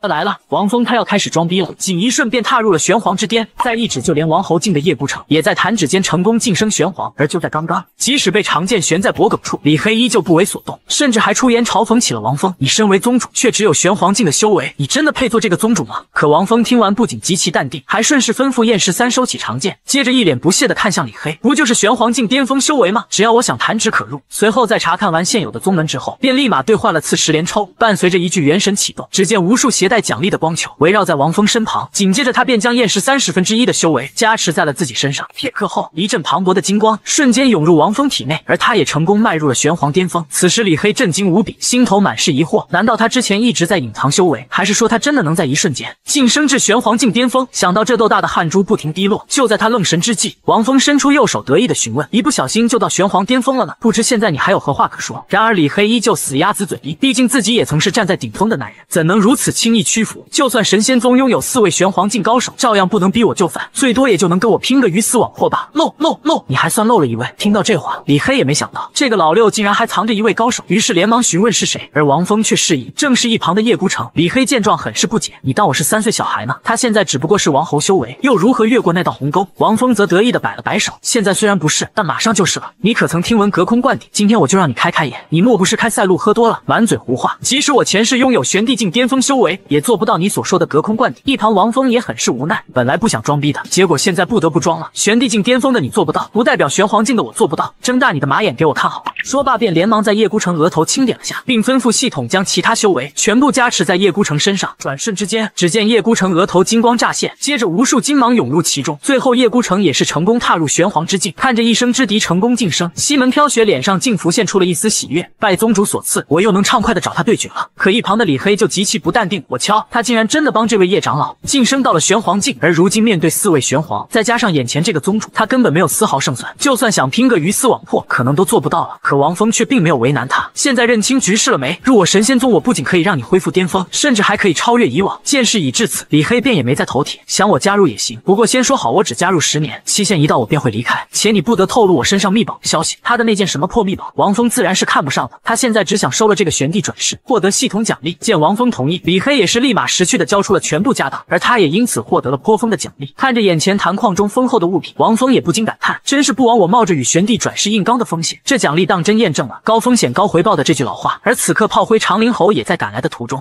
他来了！就在王峰收服李黑后，新角色也即将登场。乍一看只是个文弱书生，实则却是个狠角色。即使面对饥肠辘辘的黑熊，他也依旧面不改色，甚至还自嘲起来。没想到姜太公诚不欺我，我就搁这一战，果真就有食物自投罗网了。看这分量，也足够自己饱餐一顿。可就在黑熊扑向他之时，他却突然发现天空好似被一团黑压压的东西给遮住了。于是连忙睁眼查看，竟发现一阵密密麻麻的箭雨正朝自己爆射而来。只闻一声巨响，被超度的黑熊应声倒地。原来这一切正是长灵君所为。看着一片狼藉的空地，长灵猴正要下去收尸，谁料这时黑熊的身体竟在不停的扭动，随后更是奇迹般的站起身来。原来黑熊早已凉透，是慕云飞将他撑了起来。此时只见他不慌不忙的拍打着身上的灰尘，可长灵猴胯下的貔貅不乐意直接在嘴中凝出了妩媚真火。接着便朝慕云飞喷射而去，而他却一脸惬意，然后慢慢的拔出手中长剑，接着轻轻一挥，最后只见黑熊的手掌应声飞出，在两者激情的碰撞下，美味绝伦的烤肉就做好了。慕云飞一边啃着，嘴里还在挑衅着长灵猴：“谢谢你啊，老铁，你要不要也来一口？”长林猴闻言，直接一掌拍在貔貅的脑门上，借着惯性一跃而起。你就当是我赏给你的断头餐吧。说罢，只见其右手金色灵气缠绕，片刻间便凝出了沙包大的拳头，直接朝慕云飞轰去。此刻他才发觉情况不对，则立马拔出长剑。见对方要超度自己，他也不准备藏拙，瞬间挥出惊鸿一剑用来抵挡。可就在两者触碰之际，只见长剑正不断被压缩，直至剩下一枚剑柄。慕云飞也顺势被轰入地底。片刻后，他颤颤巍巍地站了起来，随手扔掉了手中的长剑。即使面对如此强大的对手，可他依旧丝毫不慌。还好刚吃完的烤肉没吐出来，要不然可真是赔了熊掌又折兵。此时长林侯也没再出手，反而扭头看向一旁的云长老。他年纪轻轻便有王侯境修为，又出现在星耀山脉，想必他就是神仙宗的王峰吧？谁料王长老连忙摇头否认，那个王峰哪怕是化成灰我都认得，但他不是。慕云飞听闻此言，已被气得浑身发颤。你刚刚差点一拳将我锤死，结果仅仅是因为认错人了。他是毫无修为的一宗之主，可天才少女却抢着拜入宗门，这也让王峰喜出望外。他没想到天上掉馅饼这种好事竟能落到自己头上，但系统却告知他，若对方未交入门费，便不算收徒成功。迫于无奈，王峰只能伸手讨要。虽然你有意加入宗门，但神仙宗的规矩你必须得守。那么，请交出身上所有的钱当入门费。可女人却使出了斩男秘籍，撒娇大法。宗主哥哥，我出门急，身上没带钱，你看以后再补上行不行？此招一出，就算是手速高达二百五的王峰也难以招架。奈何这是系。系统强制要求，于是便想出言拒绝，可谁料女人身后突然出现一众强者。小美人，你怎么不跑了？本侯爷可刚提起点兴致，你父亲都保不了你，这几个两条腿的猴子又能帮得了你什么？女人闻言立马躲至王峰身后。凌云，你少在那得意，我现在可是神仙宗门下弟子，在我们宗主面前，岂容你再行泯灭人性之举？此时凌云却仰天大笑，就凭几只猴子？要知道本侯爷养的狗奴才们皆已达到玄将境修为。女人闻言吓得瑟瑟发抖。这时王峰心想，本以为是天上掉馅饼，哪知道自己才是。人家的馅饼，看来这次收徒有点悬呐。可接下来，胖子打破了平静。小师妹，你不必害怕，区区玄将境而已，咱们宗主一根手指就能摁死他们。小弟们听得咬牙切齿，恨不得立马冲过来生撕了胖子。这个死胖子就知道给老子惹事。虽说我比他们高一个境界，但奈何我没实战经验啊，万一出手落败，岂不是影响我收徒大业？于是刚准备开口说些什么，女人却立马先斩后奏：谢宗主出手搭救。王峰见事已至此，只能作罢。你放心，有本宗在此，无人能欺负你。不过他好像一直忘了叶孤城的存在。此时凌云显。然已经不耐烦了，你们几个在耍什么猴戏呢？都给我去弄死他丫的！说罢，几名小弟直接朝王峰爆射而来。就在千钧一发之际，王峰却发现他们的动作极其缓慢，随手就掰弯了砍来的大刀。看来在这个修仙世界，境界大一级压死人是真的。本来想拿他们练练手，但在弟子面前，若和他们打得有来有回，岂不是太丢人了？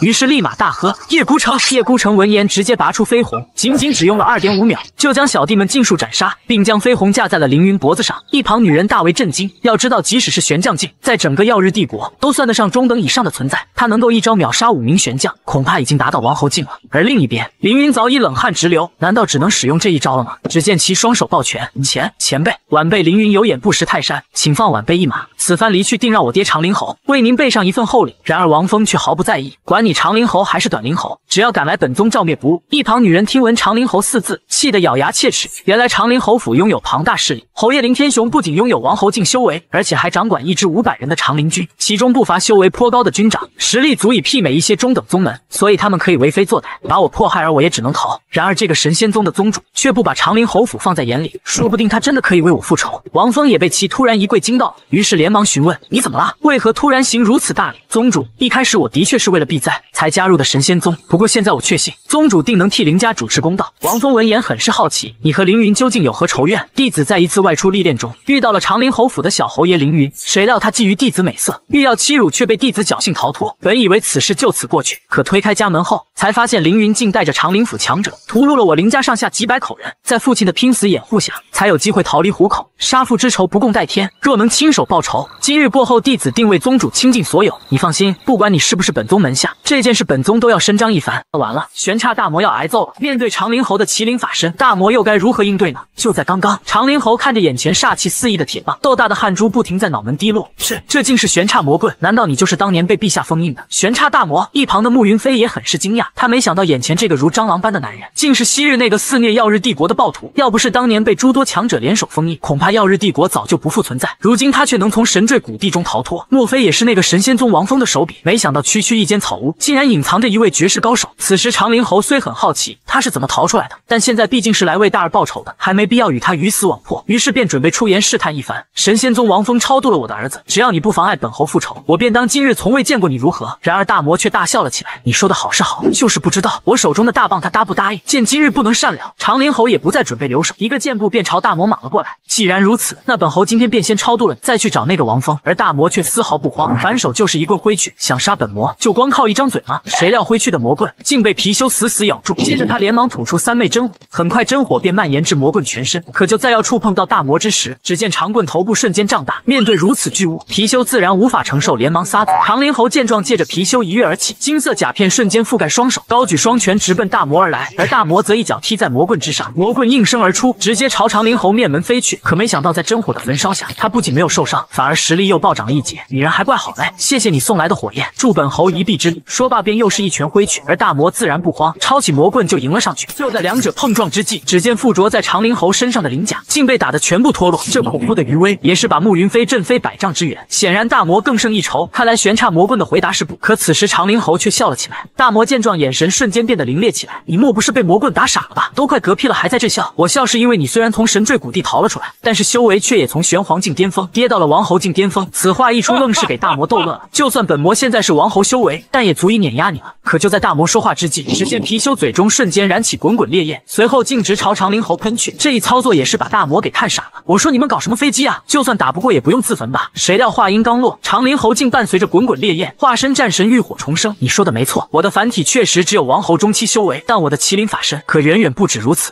被烈焰当场火化，他不仅没有死，反而浴火重生，造就麒麟法身。原来这是他与貔貅的合体技能，也是他最后的底牌。看着眼前人手瘦身的长林侯，此时大魔很是慌张，豆大的汗珠不停在脑门滴落。他不敢相信，原来只有王侯中期的长林侯，竟一跃来到了玄黄境初期。可就在他遐想之际，只见长林侯已朝他爆射而来，看着转瞬间便来到头顶的他。显然大魔没有了之前嚣张的气焰，神情之中多了一丝惊慌。随着他的兽蹄落下，原本平整的大地，顷刻间被踩出了一个巨大的窟窿。待烟尘散去，大魔我也只能靠着玄。差魔棍苦苦支撑，此时他心中不禁感叹：这家伙不仅身体和力量都变大了数倍，竟连速度都上升了好几个档次。而一旁仅剩下的两个独苗，见大魔被打得毫无还手之力，也是连连拍手叫好。不愧是侯爷的麒麟法身，没想到竟连玄刹大魔和那邪门的棍子也能轻松压制，这蟑螂恐怕命不久矣。谁料俩人话音刚落，只见大魔一个华丽转身，接着一脚用力的蹬在魔棍之上，如意如意，随我心意，速速变大。随后魔棍应声而出，瞬间胀大，直接将长灵猴顶飞了出去，最后傲立于大地之上。而大魔自然不会给他喘息的机会，高举魔棍便朝长林侯面门砸去，仅一击便将大地砸得粉碎。其余波也是震得炮灰们瑟瑟发抖。可此时大魔脸上依旧忧心忡忡，因为他知道仅凭这一击是很难给长林侯造成实质伤害。结果正如他所想，长林侯竟毫发无伤的出现在他眼前，并双眼怔怔的蔑视着他，仿佛在嘲笑着他的无能。而此时的大魔也尽显无力，面对境界上的差距，他只能选择先拉开距离，再借机寻找破绽。可长林侯并不准备给他机会，只见其将身体蜷缩，片刻后化作一道流光，直奔大魔而去，仅一瞬便来到他的眼前，还不等他反应，就是一记重重的肘击将其击飞，接着一拳、两拳、三拳，可谓是拳拳到肉，结结实实的砸在他的面门之上。随着最后一拳落下，大魔直接被击飞百丈之远，最后被土壁挡住，这才堪堪停下。此刻他的双眸之中尽是绝望，本魔好不容易才从神坠谷地逃出来，难道今天就要陨落于此吗？与此同时，只见长林侯已高举两块巨石，准备将它做成魔肉馅饼。大魔见状惊呼：完了，这下可真的要像蟑螂般被人拍扁了。话音刚落，长林侯直接将巨石合紧，在这强力的冲击下，难道大魔就这样遗憾下线了吗？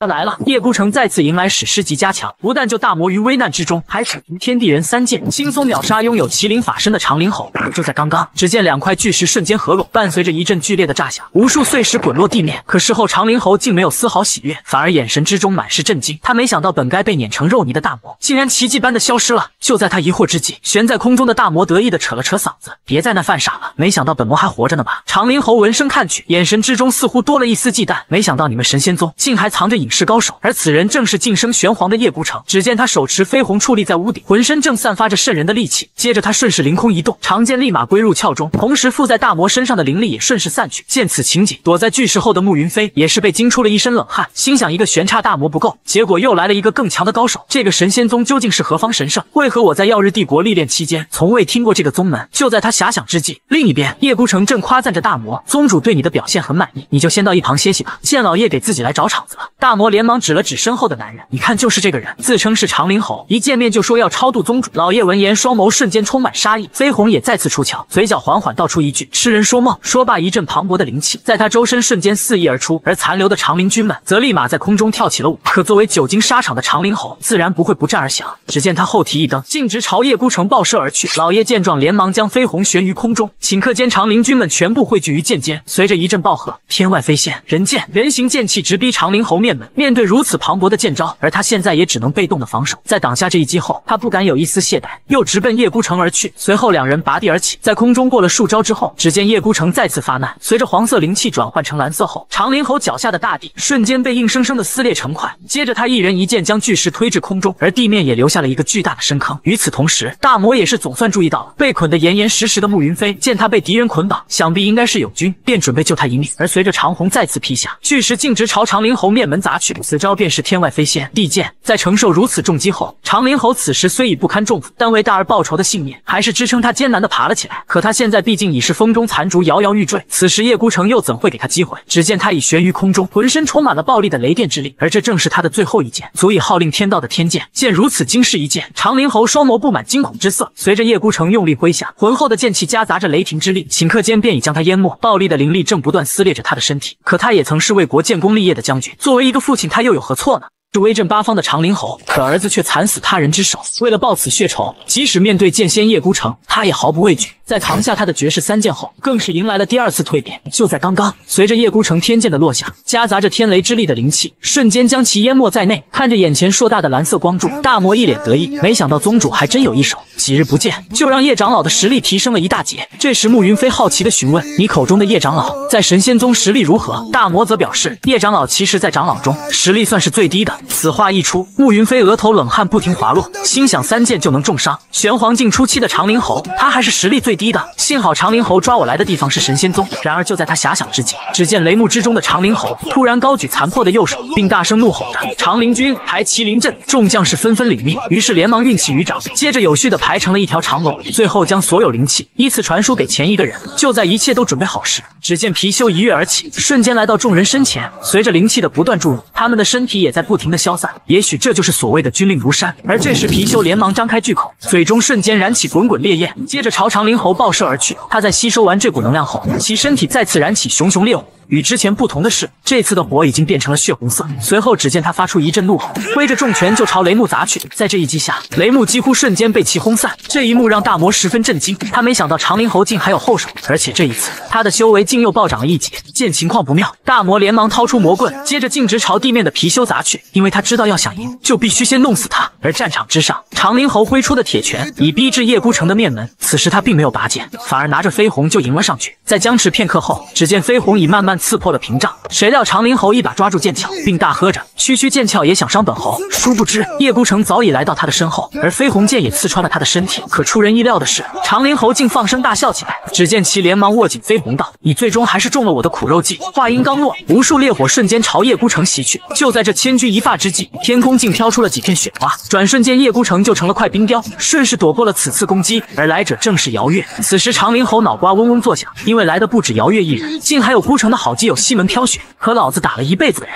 我都没敢伤过他，你怕是不要命了？曾是被世人嘲讽的废物宗主，可如今却成了拥有武魂融合技的顶级大佬。即使面对玄黄境巅峰的长灵猴，他也有那天外一剑可斩之。而在这之前，随着长灵军们的陷阱，长灵猴迎来了第二次蜕变。面对修为暴增的他，叶孤城不仅被打得连连败退，甚至还出现了性命之危。幸好姚月及时赶到，将其救下。长灵猴见状，脑瓜嗡嗡作响，因为来的不止姚月一人，还有老叶的挚友西门飘雪。此时他已在指尖凝气成剑，接着径直朝长灵猴的脑袋刺去。面对这突如其来的一剑，他连忙将双手握在一起，随后身躯猛然一震，只见其周身脱落的鳞片猛然射穿了西门飘雪的身体，转瞬间滚滚烈焰已将其包裹。可他却发现这团火焰并没有给自己造成实质性的伤害。可下一秒他又心头一紧，因为他发现这火烧的竟是玄气。长灵猴见状咧嘴一笑，接着连忙冲向西门飘雪。幸好姚月及时救场，在将其冻在原地后，纵身一跃来到长灵猴的面门之上，却不料被其察觉，并被一拳砸在了腹部。就在姚月被震退之时，长灵猴连忙向其射出数道鳞片。西门飘雪见状提醒，别被他的鳞片击中，不然他们会化为火焰，瞬间吞噬掉你的玄气。姚月闻言，直接用冰将自己包裹在内。西门飘雪见有破绽，立马拔剑朝长灵猴刺去，可这一剑竟被他抬手挡住。你现在玄气耗尽，虚弱的连我手臂都无法刺穿，而西门飘雪则喘着粗气道：“现在你绝对不可能躲过那一剑的。”话音刚落，只见燕十三突然出现，接着一记横劈，暴力的灵气如猛兽般肆意的席卷着长灵猴的下半身，伴随着一声惨叫，他的腹部以下仅剩一副窟，奄奄一息的他很是不解，这耀日帝国何时又出了一个玄黄境巅峰的高手？于是连忙询问：“你究竟是谁？”燕十三闻言，将长剑悬在身前，吾乃神仙宗门下燕十三。同时，王峰一行人正在山顶观战，许久未见的胖子很是惊讶：“我才闭关一会，宗内怎么又多出了个这么强的长老？”李黑也不禁感叹：“不知我此时何时才能再拥有玄黄境巅峰的修为？”唯有小五面色极其难看，他就是害我们林家灭族的长灵猴。王峰见状，拍了拍他的肩膀：“别急，我知道你在想什么，待会我会让你亲手复仇的。”大魔见宗主来了，很是兴奋，说什么也要好好表现一番，尽快消灭眼前这只孽畜，以防宗主认为本魔没用。可就在魔棍挥落之际，貔貅却被长灵猴吸了过去。老伙计，今日为了替本猴之子复仇，就只能牺牲你了。说罢，一记黑虎掏心直接打了貔貅。片刻后，他的周身燃起无数烈焰，待烈焰消散，他不仅修复了伤势，就连修为也来到了玄黄巅峰。此时我的麒麟法身已是完全体，你的剑再厉害，也休想伤本猴半分。而燕十三则很是不屑，接着连忙挥出夺命十五剑，仅一击便让长灵猴半个身子的鳞片尽数脱落。谁料这时系统突然提示，发现一名绝顶妖孽。王峰看着被绑得很是严实的慕云飞，心想周围就只有他一个新面孔，且年纪轻轻就拥有王侯境的修为，看来绝顶妖孽就是他没跑了。于是连忙为其松绑，并询问你是谁。他则连忙表示，本人乃神风帝国的慕云飞，来星耀山脉历练，不曾想被长灵侯当成了神仙宗的人，然后就被绑了过来。可王峰却很是不解，以你的资质，在神风帝国的年轻一辈中，怕是最顶尖的存在。神风大帝竟然没将你当成宝，晚辈此前只是一个区区废物而已。出来散心时，机缘巧合得到机遇，才有了如今这样的修为。王峰听完，双眼闪着金光，心想这不是妥妥的主角模板？这样的人拽都得把他拽到神仙宗来。于是，一把握住了他的肩膀，能有这样的际遇，证明你的运气非凡。不知可愿加入我神仙宗？入宗后，不仅有玄黄境强者一对一指导，还包吃包住，朝九晚五。可慕云飞却一脸愁容，我若加入神仙宗，恐怕宗门将会麻烦不断。即便这样，前辈也愿意收我吗？谁料就在王峰以为十拿九稳之时，胖子却突然冲了过来，嘴里还嚷着：“宗主，这下麻烦大了。”而战场之上，在长灵侯猛烈的攻势下，燕十三似乎也有些应接不暇。而此时，王峰却一脸幽怨的看着胖子，心想这个憨子还真是一如既往的欠揍，一一下子就打破了我好不容易营造出来的收徒气氛。于是他心生一计：“你愿不愿意一举进入通灵境啊？”听到这话，胖子嘴都要笑歪了，连连表示自己愿意。王峰连忙上前拍了拍他的肩膀：“我保证今日你一定如偿所愿。”随后又看了看一旁的慕云飞，心想为了顺利收徒，看来终究得我亲自动手了。说罢，便一个瞬身来到了长灵猴身前。他看着眼前的仇人，已怒不可遏，想必你就是杀死本侯之子的王峰吧？说罢，直接挥拳朝王峰面门飞来，而他则不慌不忙，左手明玉弓，右手华光剑挡，接着更是把两者融合在了一起，最后后以一记夜孤城的天外飞仙收尾。谁料长灵猴不仅挡下了这一击，还一拳把王峰轰飞了出去。就这不堪一击，小五见此一幕，甚是心慌。如果连宗主也无法打败长灵猴，那我林家的血海深仇又何时才能报？一旁李黑却很是淡定，宗主可没被长灵猴打败，难道你还没发现身边少了什么吗？另一边，长灵猴看着毫发无伤的王峰，惊讶不已。中了我的麒麟岩拳，你竟然毫发不伤。而王峰则表示，中拳的可不是本宗，而是倒在那边的胖子。不过我还是得多谢你，用玄黄镜的力量替本宗锤炼弟子。虽然此时胖子已被打昏了过去，但他已彻底觉醒了玄灵龟仙之体。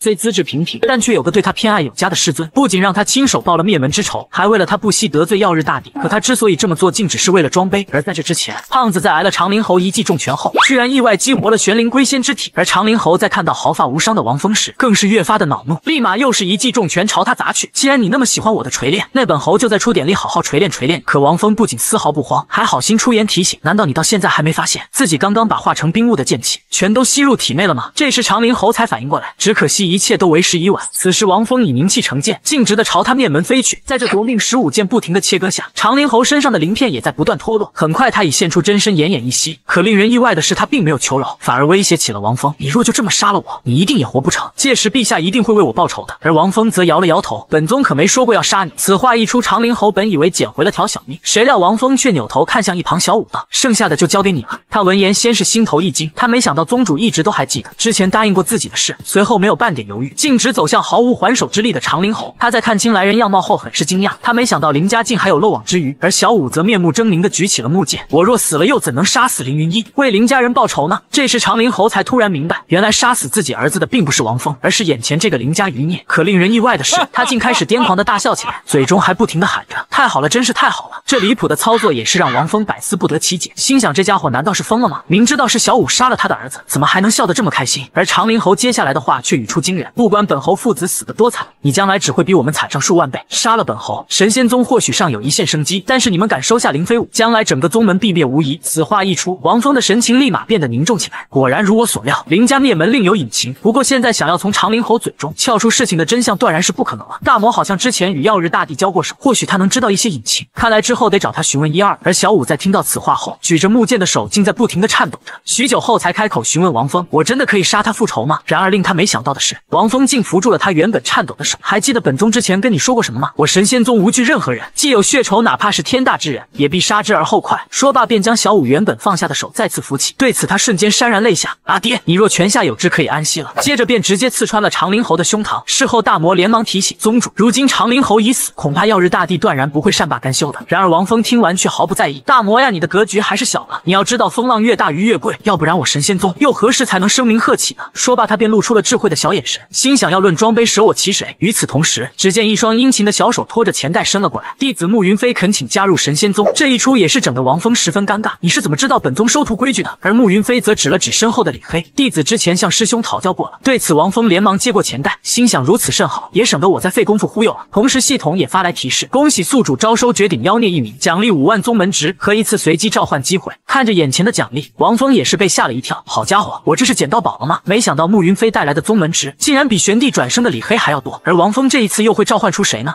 过女朋友的都知道，长得越漂亮，脾气就越大，就算是在玄幻世界也不例外。只因老头对他表了个白，结果就被冻成了冰雕，永垂不朽。如今更是收了胖子这个世精作为徒弟，可想而知，以后在姚月的毒打下，他将来究竟会有多强？此刻神仙宗大殿内，王峰因为小五家族被灭门一事，一早便把大魔给换了过来。你在没被封印之前，可曾听过林飞武所在的林家？听到林家二字，大魔很是震惊。相传要封城林家，或许在耀日帝国内算不上顶尖，但却是个拥有近五千年历史的古老家族。可奇怪的是，林家一直无法发展起来。后来听说，是因为他们所传承的一件至宝，只有真正血脉精纯的林家弟子才能完全激活。而一旦激活那件至宝，林家上下将会彻底蜕变，轻易便能成为世间顶尖家族。听闻此话，王峰不禁有点汗颜，心想自己这是。什么逆天运气？随便收个弟子，无不是。大气运之人。此时大魔接着推断，虽然这只是。个传说，但林家能莫名其妙被灭，多半跟这沾点关系。而王峰也很认同他的观点，毕竟匹夫无罪，怀璧其罪，是。个亘古不变的道理。于是。他默默做了一个决定，既然小五入我神仙宗，那么本宗自然要为他做主。长林侯等人只是个开始，但凡参与覆灭林家的，我一个都不会放过。此话一出，大魔溜须拍马的能力立马体现的淋漓尽致，宗主威武简直是我的偶像。不光是林飞武能抱到神仙宗这根大粗腿，也是本魔此生最大的幸运。随后王峰交代，先不要将此事告诉小五，并让他好好修炼，待其能独挡一面之时，这个仇本宗定会让他亲手报之。对了，你去把宗内所有人都给叫来，我有重要的事要宣布。待大魔走后，王峰便迫不及待地唤出系统，并让其把之前没来得及看的消息，现在全都给放出来。根据系统提示，击杀长林侯后，虽获得了一次随机召唤机会以及三万宗门值，但同时与耀日大帝结下了梁子，并激活了敌对任务，这也把王峰给整蒙圈了。随后在其询问下，这才得知，原来敌对任务一旦开启，便会自动将耀日帝国判为敌对势力。只要有敌对任务出现，完成便能获得丰厚奖励。而第一个任务就是带领宗内弟子参加由耀日帝国举办的封魔大会，并夺得封魔大会第一，且必须宗内弟子为榜首。此外，夺得大会第一后，需当面挑衅耀日大帝，完成后即可获得五次随机召唤，并开启宗内任务点。另外，在封魔大会中，只要击杀其他宗门弟子，或者把他挖到神仙宗，不仅可以获得相对不等的宗门值，还能掠夺被击杀者的气运。对此，王峰不禁暗骂：这狗系统还真是喜欢搞事情，竟然要当面挑衅耀日大帝，简直是癞蛤蟆跳油锅。不过挖墙脚这事也算深得我心了。可如今距离封魔大会也只有十几天的时间了，以目前他们的修为，要夺得封魔大会榜首，恐怕是有点强人所难了。不过这次召集众人，就是为了提高这些弟子的修为。很快，所有人已前来报道，而王峰也道出了此次目的。十天后，本宗将率领。领宗内弟子前去参加封魔大会。为了提升门内弟子实力，你们三位长老从李庆、李黑和慕云飞中分别挑个当自己的弟子。此话一出，最开心的莫过于胖子了，心想宗主果然没有骗我，说是玄黄一对一指导，就真是如此。我在远方的亲娘啊，你的天才儿子马上就要起飞了。随后西门飘雪选择了慕云飞，出人意料的是，一向冷艳的姚月竟然选择了胖子这个是金，而胖子也表演了什么叫笑容消失术，因为他听大魔说过，姚月长老向来人狠话不多，自己刚挨了长林侯一拳，差点嗝屁，以后又要被母老虎拿捏，我嫡亲娘儿子心里苦啊。可到了李黑这，燕十三却连连摇头，这也让他好生郁闷，心想我堂堂玄帝境强者转生，又岂需要玄黄境强者来指导？看着两人都十分高傲，王峰心中也泛起了难，果然队伍大了就不好带了，更别提这些长老们，个个都是心高气傲之辈。关键这个李黑也是个刺头，倘若这次找不到人当他师傅，恐怕难免会被他看低。既然如此，那么本宗就再唤醒一位长老。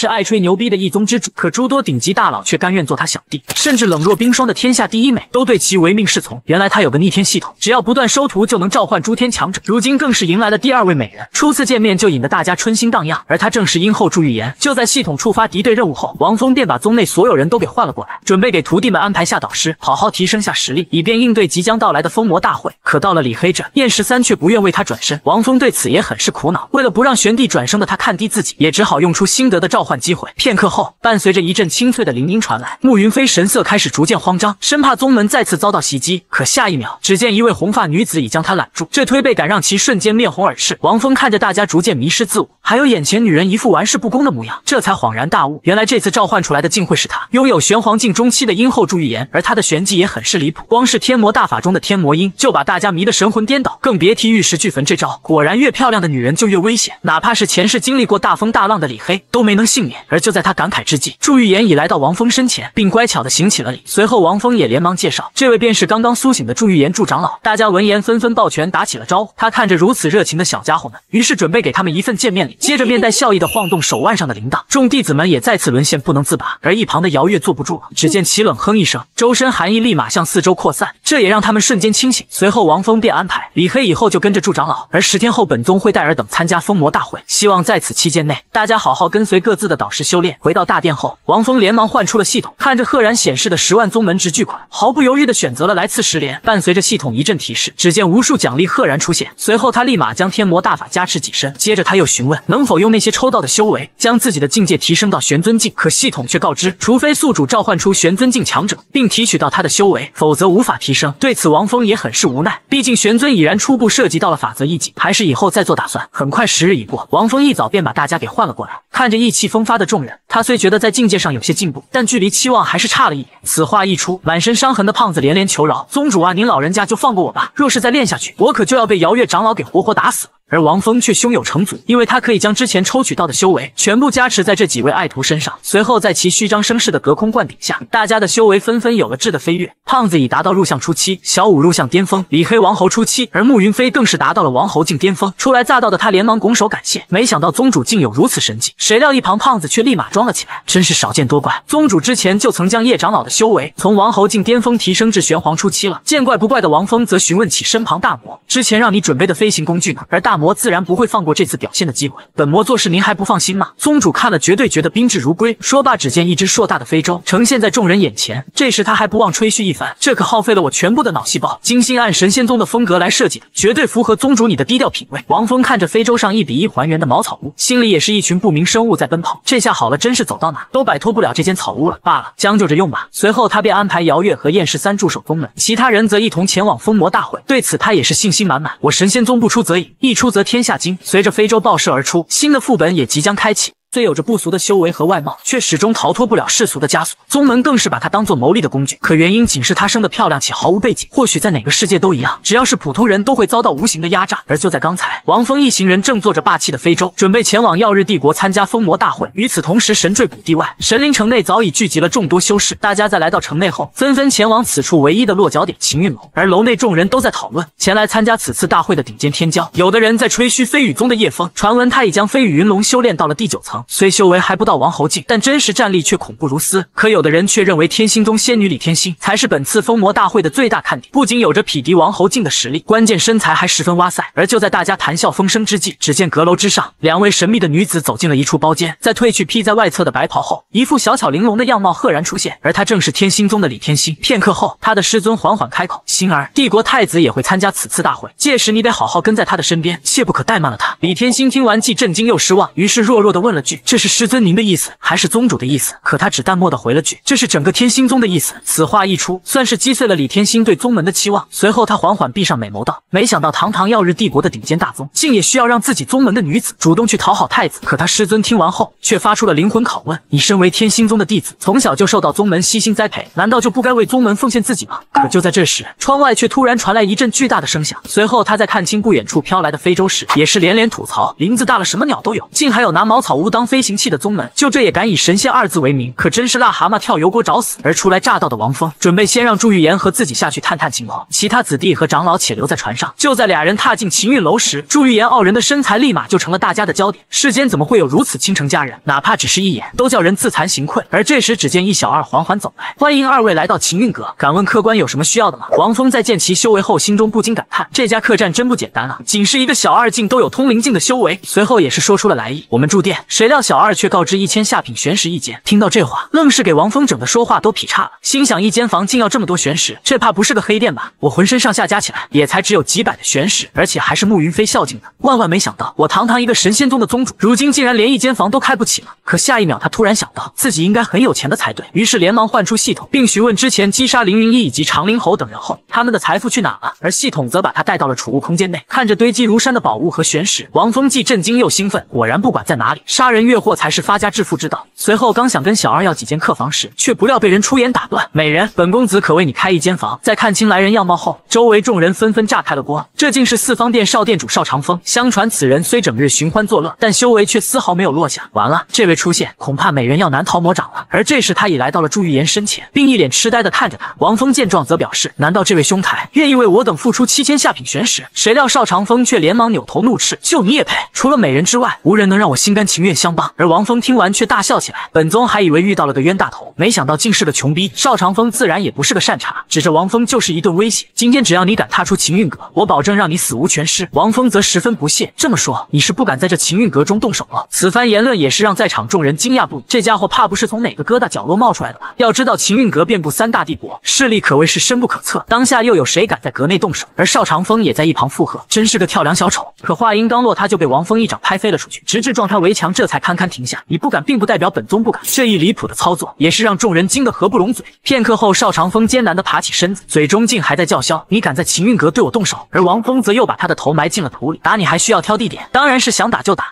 不仅有着绝世的容颜，就连修为也同样在线。如今不但被男人当众调戏，得力手下还被废掉一臂，可他却只能哑巴吃黄连，有苦说不出。谁让他遇到王峰这个老六了呢？而在这之前，王峰一行人刚踏入秦韵阁，就遇到个不知死活的四方殿的少店主。他不仅想把祝玉言收作小妾，还仗着此地的规矩当众威胁王峰。而王峰可不管什么三七二十八，直接让他与大帝原地结婚。可就在这时，一道诡异的身影疾驰而来。王峰见来人皮肤生得如此雪白，也是惊得连忙退至一旁。此时，男人周身迸发出骇人的灵气，面露狰狞的怒斥，敢动我四方殿的少殿主，今日你必死无疑。说罢便径直朝王峰走去。吃瓜群众也是被惊出一身冷汗。这是四方殿的长老鬼雄，要知道他可是玄黄境的强者呀。看来这场风波注定不能善了了。之前巨大的动静也是将李天心师徒吸引了过来。女人看着王峰不着调的举动，心中一阵，以为他就是个跳梁小丑。如今鬼雄长老一出，他必死无疑。可一旁的李天心就不一样了，他觉得此人敢在秦韵阁动手，背后定有所依仗。而王峰这边，他竟朝着鬼雄竖起了食指，并十分挑衅的示意，狠话都放出来了。怎么现在又不敢动手了？与此同时，只见一只狱卒缓缓走下楼梯。阁下，我秦韵阁的规矩你不会不知道吧？鬼雄在看清来人后，连忙上前恭敬的行起礼来。四方殿鬼雄见过竹琴长老，此话一出，周遭瞬间变得嘈杂起来。我的天，没想到连秦韵阁的负责人都被惊动了。要知道他也是玄黄境的高手，这小子的下场恐怕惨了。不过能接连见到两大绝世美人，当真是不枉此行。而王峰在见到如此佳人后，竟立马冲他抛了个媚眼。一顾倾城，再顾倾国，本宗今日有幸遇见姑娘，不知能否到房内一叙？我亲自给你赔礼。看着竟有如此色胆的王峰，吃瓜群众瞬间懵逼。卧槽，这小子怕不是疯了？不跪地求饶就算了，还竟敢调戏竹琴长老，可真是恶狗下茅房。就连一旁鬼雄都差点没笑出声来。而此时竹琴闭着美眸开口道：“阁下的胆子还真大呢。”谁料王峰依旧嬉皮笑脸，并回了句：“也没多大呀，也就一点大吧。”可下一秒，竹琴双眸猛然睁开，充满杀气。阁下在我秦韵阁出手，破坏了我这的规矩，不知阁下打算如何收场？王峰看着无比幽怨的阁主，先是一脸歉意的表示：“本宗本无意冒犯秦韵阁，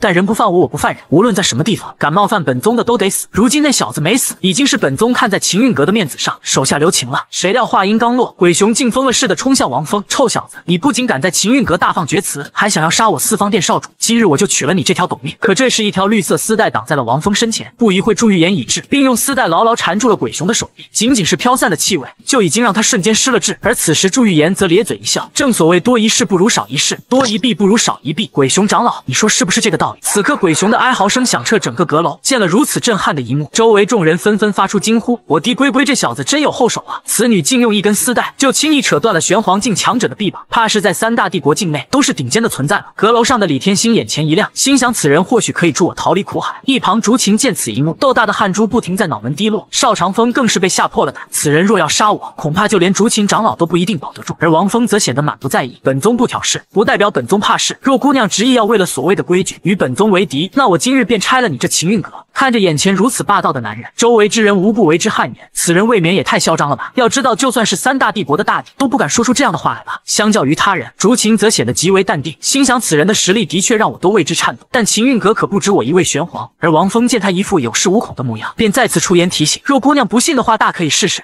坤男人当众挑衅帝国顶尖势力，谁料不仅屁事没有，结果对方还反手送了张白金贵宾卡。原来是他在祝玉言身上嗅到了一丝危险，所以这才大事化小，小事化了。而在这之前，王峰看着竹琴一副有恃无恐的模样，便再次好心提醒：若姑娘执意要追究此事，就是不知道这因果，你能否承受？听到这话，本还淡定无比的竹琴心中莫名多了一丝畏惧，心想此人太过神秘，并且他身旁的女子太强，恐怕连我都不是对手。倘若真的僵持不下，受损的必定只会是我们秦韵阁。若非这个纨绔子弟，秦韵阁又怎会陷入？这等两难之地，而就在他束手无策之际，只见一位老者缓缓走来，接着他竟直接拿起祝玉言的丝带，开始仔细品味起来。可下一秒，他立马神情呆滞，眉头紧锁。原来他嗅到了来自强者的味道，而当他出现在众人视线时，四周瞬间一片哗然。天啊，竟然连副阁主秦生长老都被惊动。要知道，就连帝国皇室都要给他几分薄面。看来那个叫王峰的小子要惨了。竹琴见他到来，刚想出言解释，却被秦生抬手打断，随后便径直走到王峰身前。此次事件，阁下出手事出有因，我秦韵阁便为阁下破一次例。你之前也惩罚了邵。长风鬼雄长老也因此而断臂，我想此事就此结果如何？王峰看着眼前白发苍苍的老人，心中不禁感叹：没想到这小小的秦韵阁中，竟还存在着一尊玄黄巅峰的大佛，真不愧是让三大帝国都十分忌惮的强大势力。此时王峰并不想与他结下梁子，便欣然答应了老者。谁料他在憨笑几声后，竟当着大家的面掏出了一张精致的卡片，并表示这次阁下在我秦韵阁中所有的费用均全免，且阁下将成为我秦韵阁的贵宾，但凡在帝国境内的任何分阁中，皆可享受八折优惠。此话一出，周围。众人纷纷咂舌，他们万万没想到这人破坏了此地规矩。秦声长老不仅没有追究，还送出了一张白金贵宾卡，恐怕整个耀日帝国拥有他的都屈指可数。这时，王峰顺势接过卡片，既然如此，那便多谢了。随后，秦声恭敬地伸出左手，邀请王峰上楼。谁料他却闭上了双眸，朝邵长风撂了句狠话：“希望你别踏出这秦韵阁，否则你就死定了。”于是便在双指上凝出了一抹剑气，接着大手一挥，直指鬼雄的残臂。鬼雄看着自己的断臂在眼前被轰得粉碎，心中的怒火再也压制不住，连忙恶狠狠地看向王峰。可还不等他开口，王峰和祝玉言便再次出手，转瞬间他的脖子已被丝带牢牢缠住，而一旁的秦声则十分识趣地指着天花板：“竹琴啊，你看这屋顶上怎么好像多了个蜘蛛网？”此事过后，王峰便吩咐身旁的祝玉言，让他把其余的人都叫下来，接着便同秦声走上了阁楼。邵长风在见其走后，便连忙来到鬼雄身前询问：“现在我们该怎么办？”鬼雄则忍着剧痛表示：“你身上应该有店主的传音灵符吧？”听到这话，邵长风连忙将其从裤裆中掏了出来：“父亲在我临行前曾给过我一块传音令符，那就好，马上联系店主，让他带领四方殿的强者前来，务必将此人击杀在这神灵城中。如若不然，你我皆要死。邵长风听完后不敢有丝毫怠慢，连忙将令牌扔给一旁手下，并让其赶紧联系店主。可做完此事，他又跑到鬼雄身前询问：“那接下来我等该怎么办？”而鬼雄则回了一个“等”。字。谁料他又弱弱问了句：“那封魔大会我等就不参加了吗？”看着眼前如此睿智的少主，鬼雄也是被气得连累怒斥：“你若是想死，那便去参加吧。”说罢便忍着剧痛向屋外走去，只留下呆愣在原地的邵长风。他本还想回自己的房间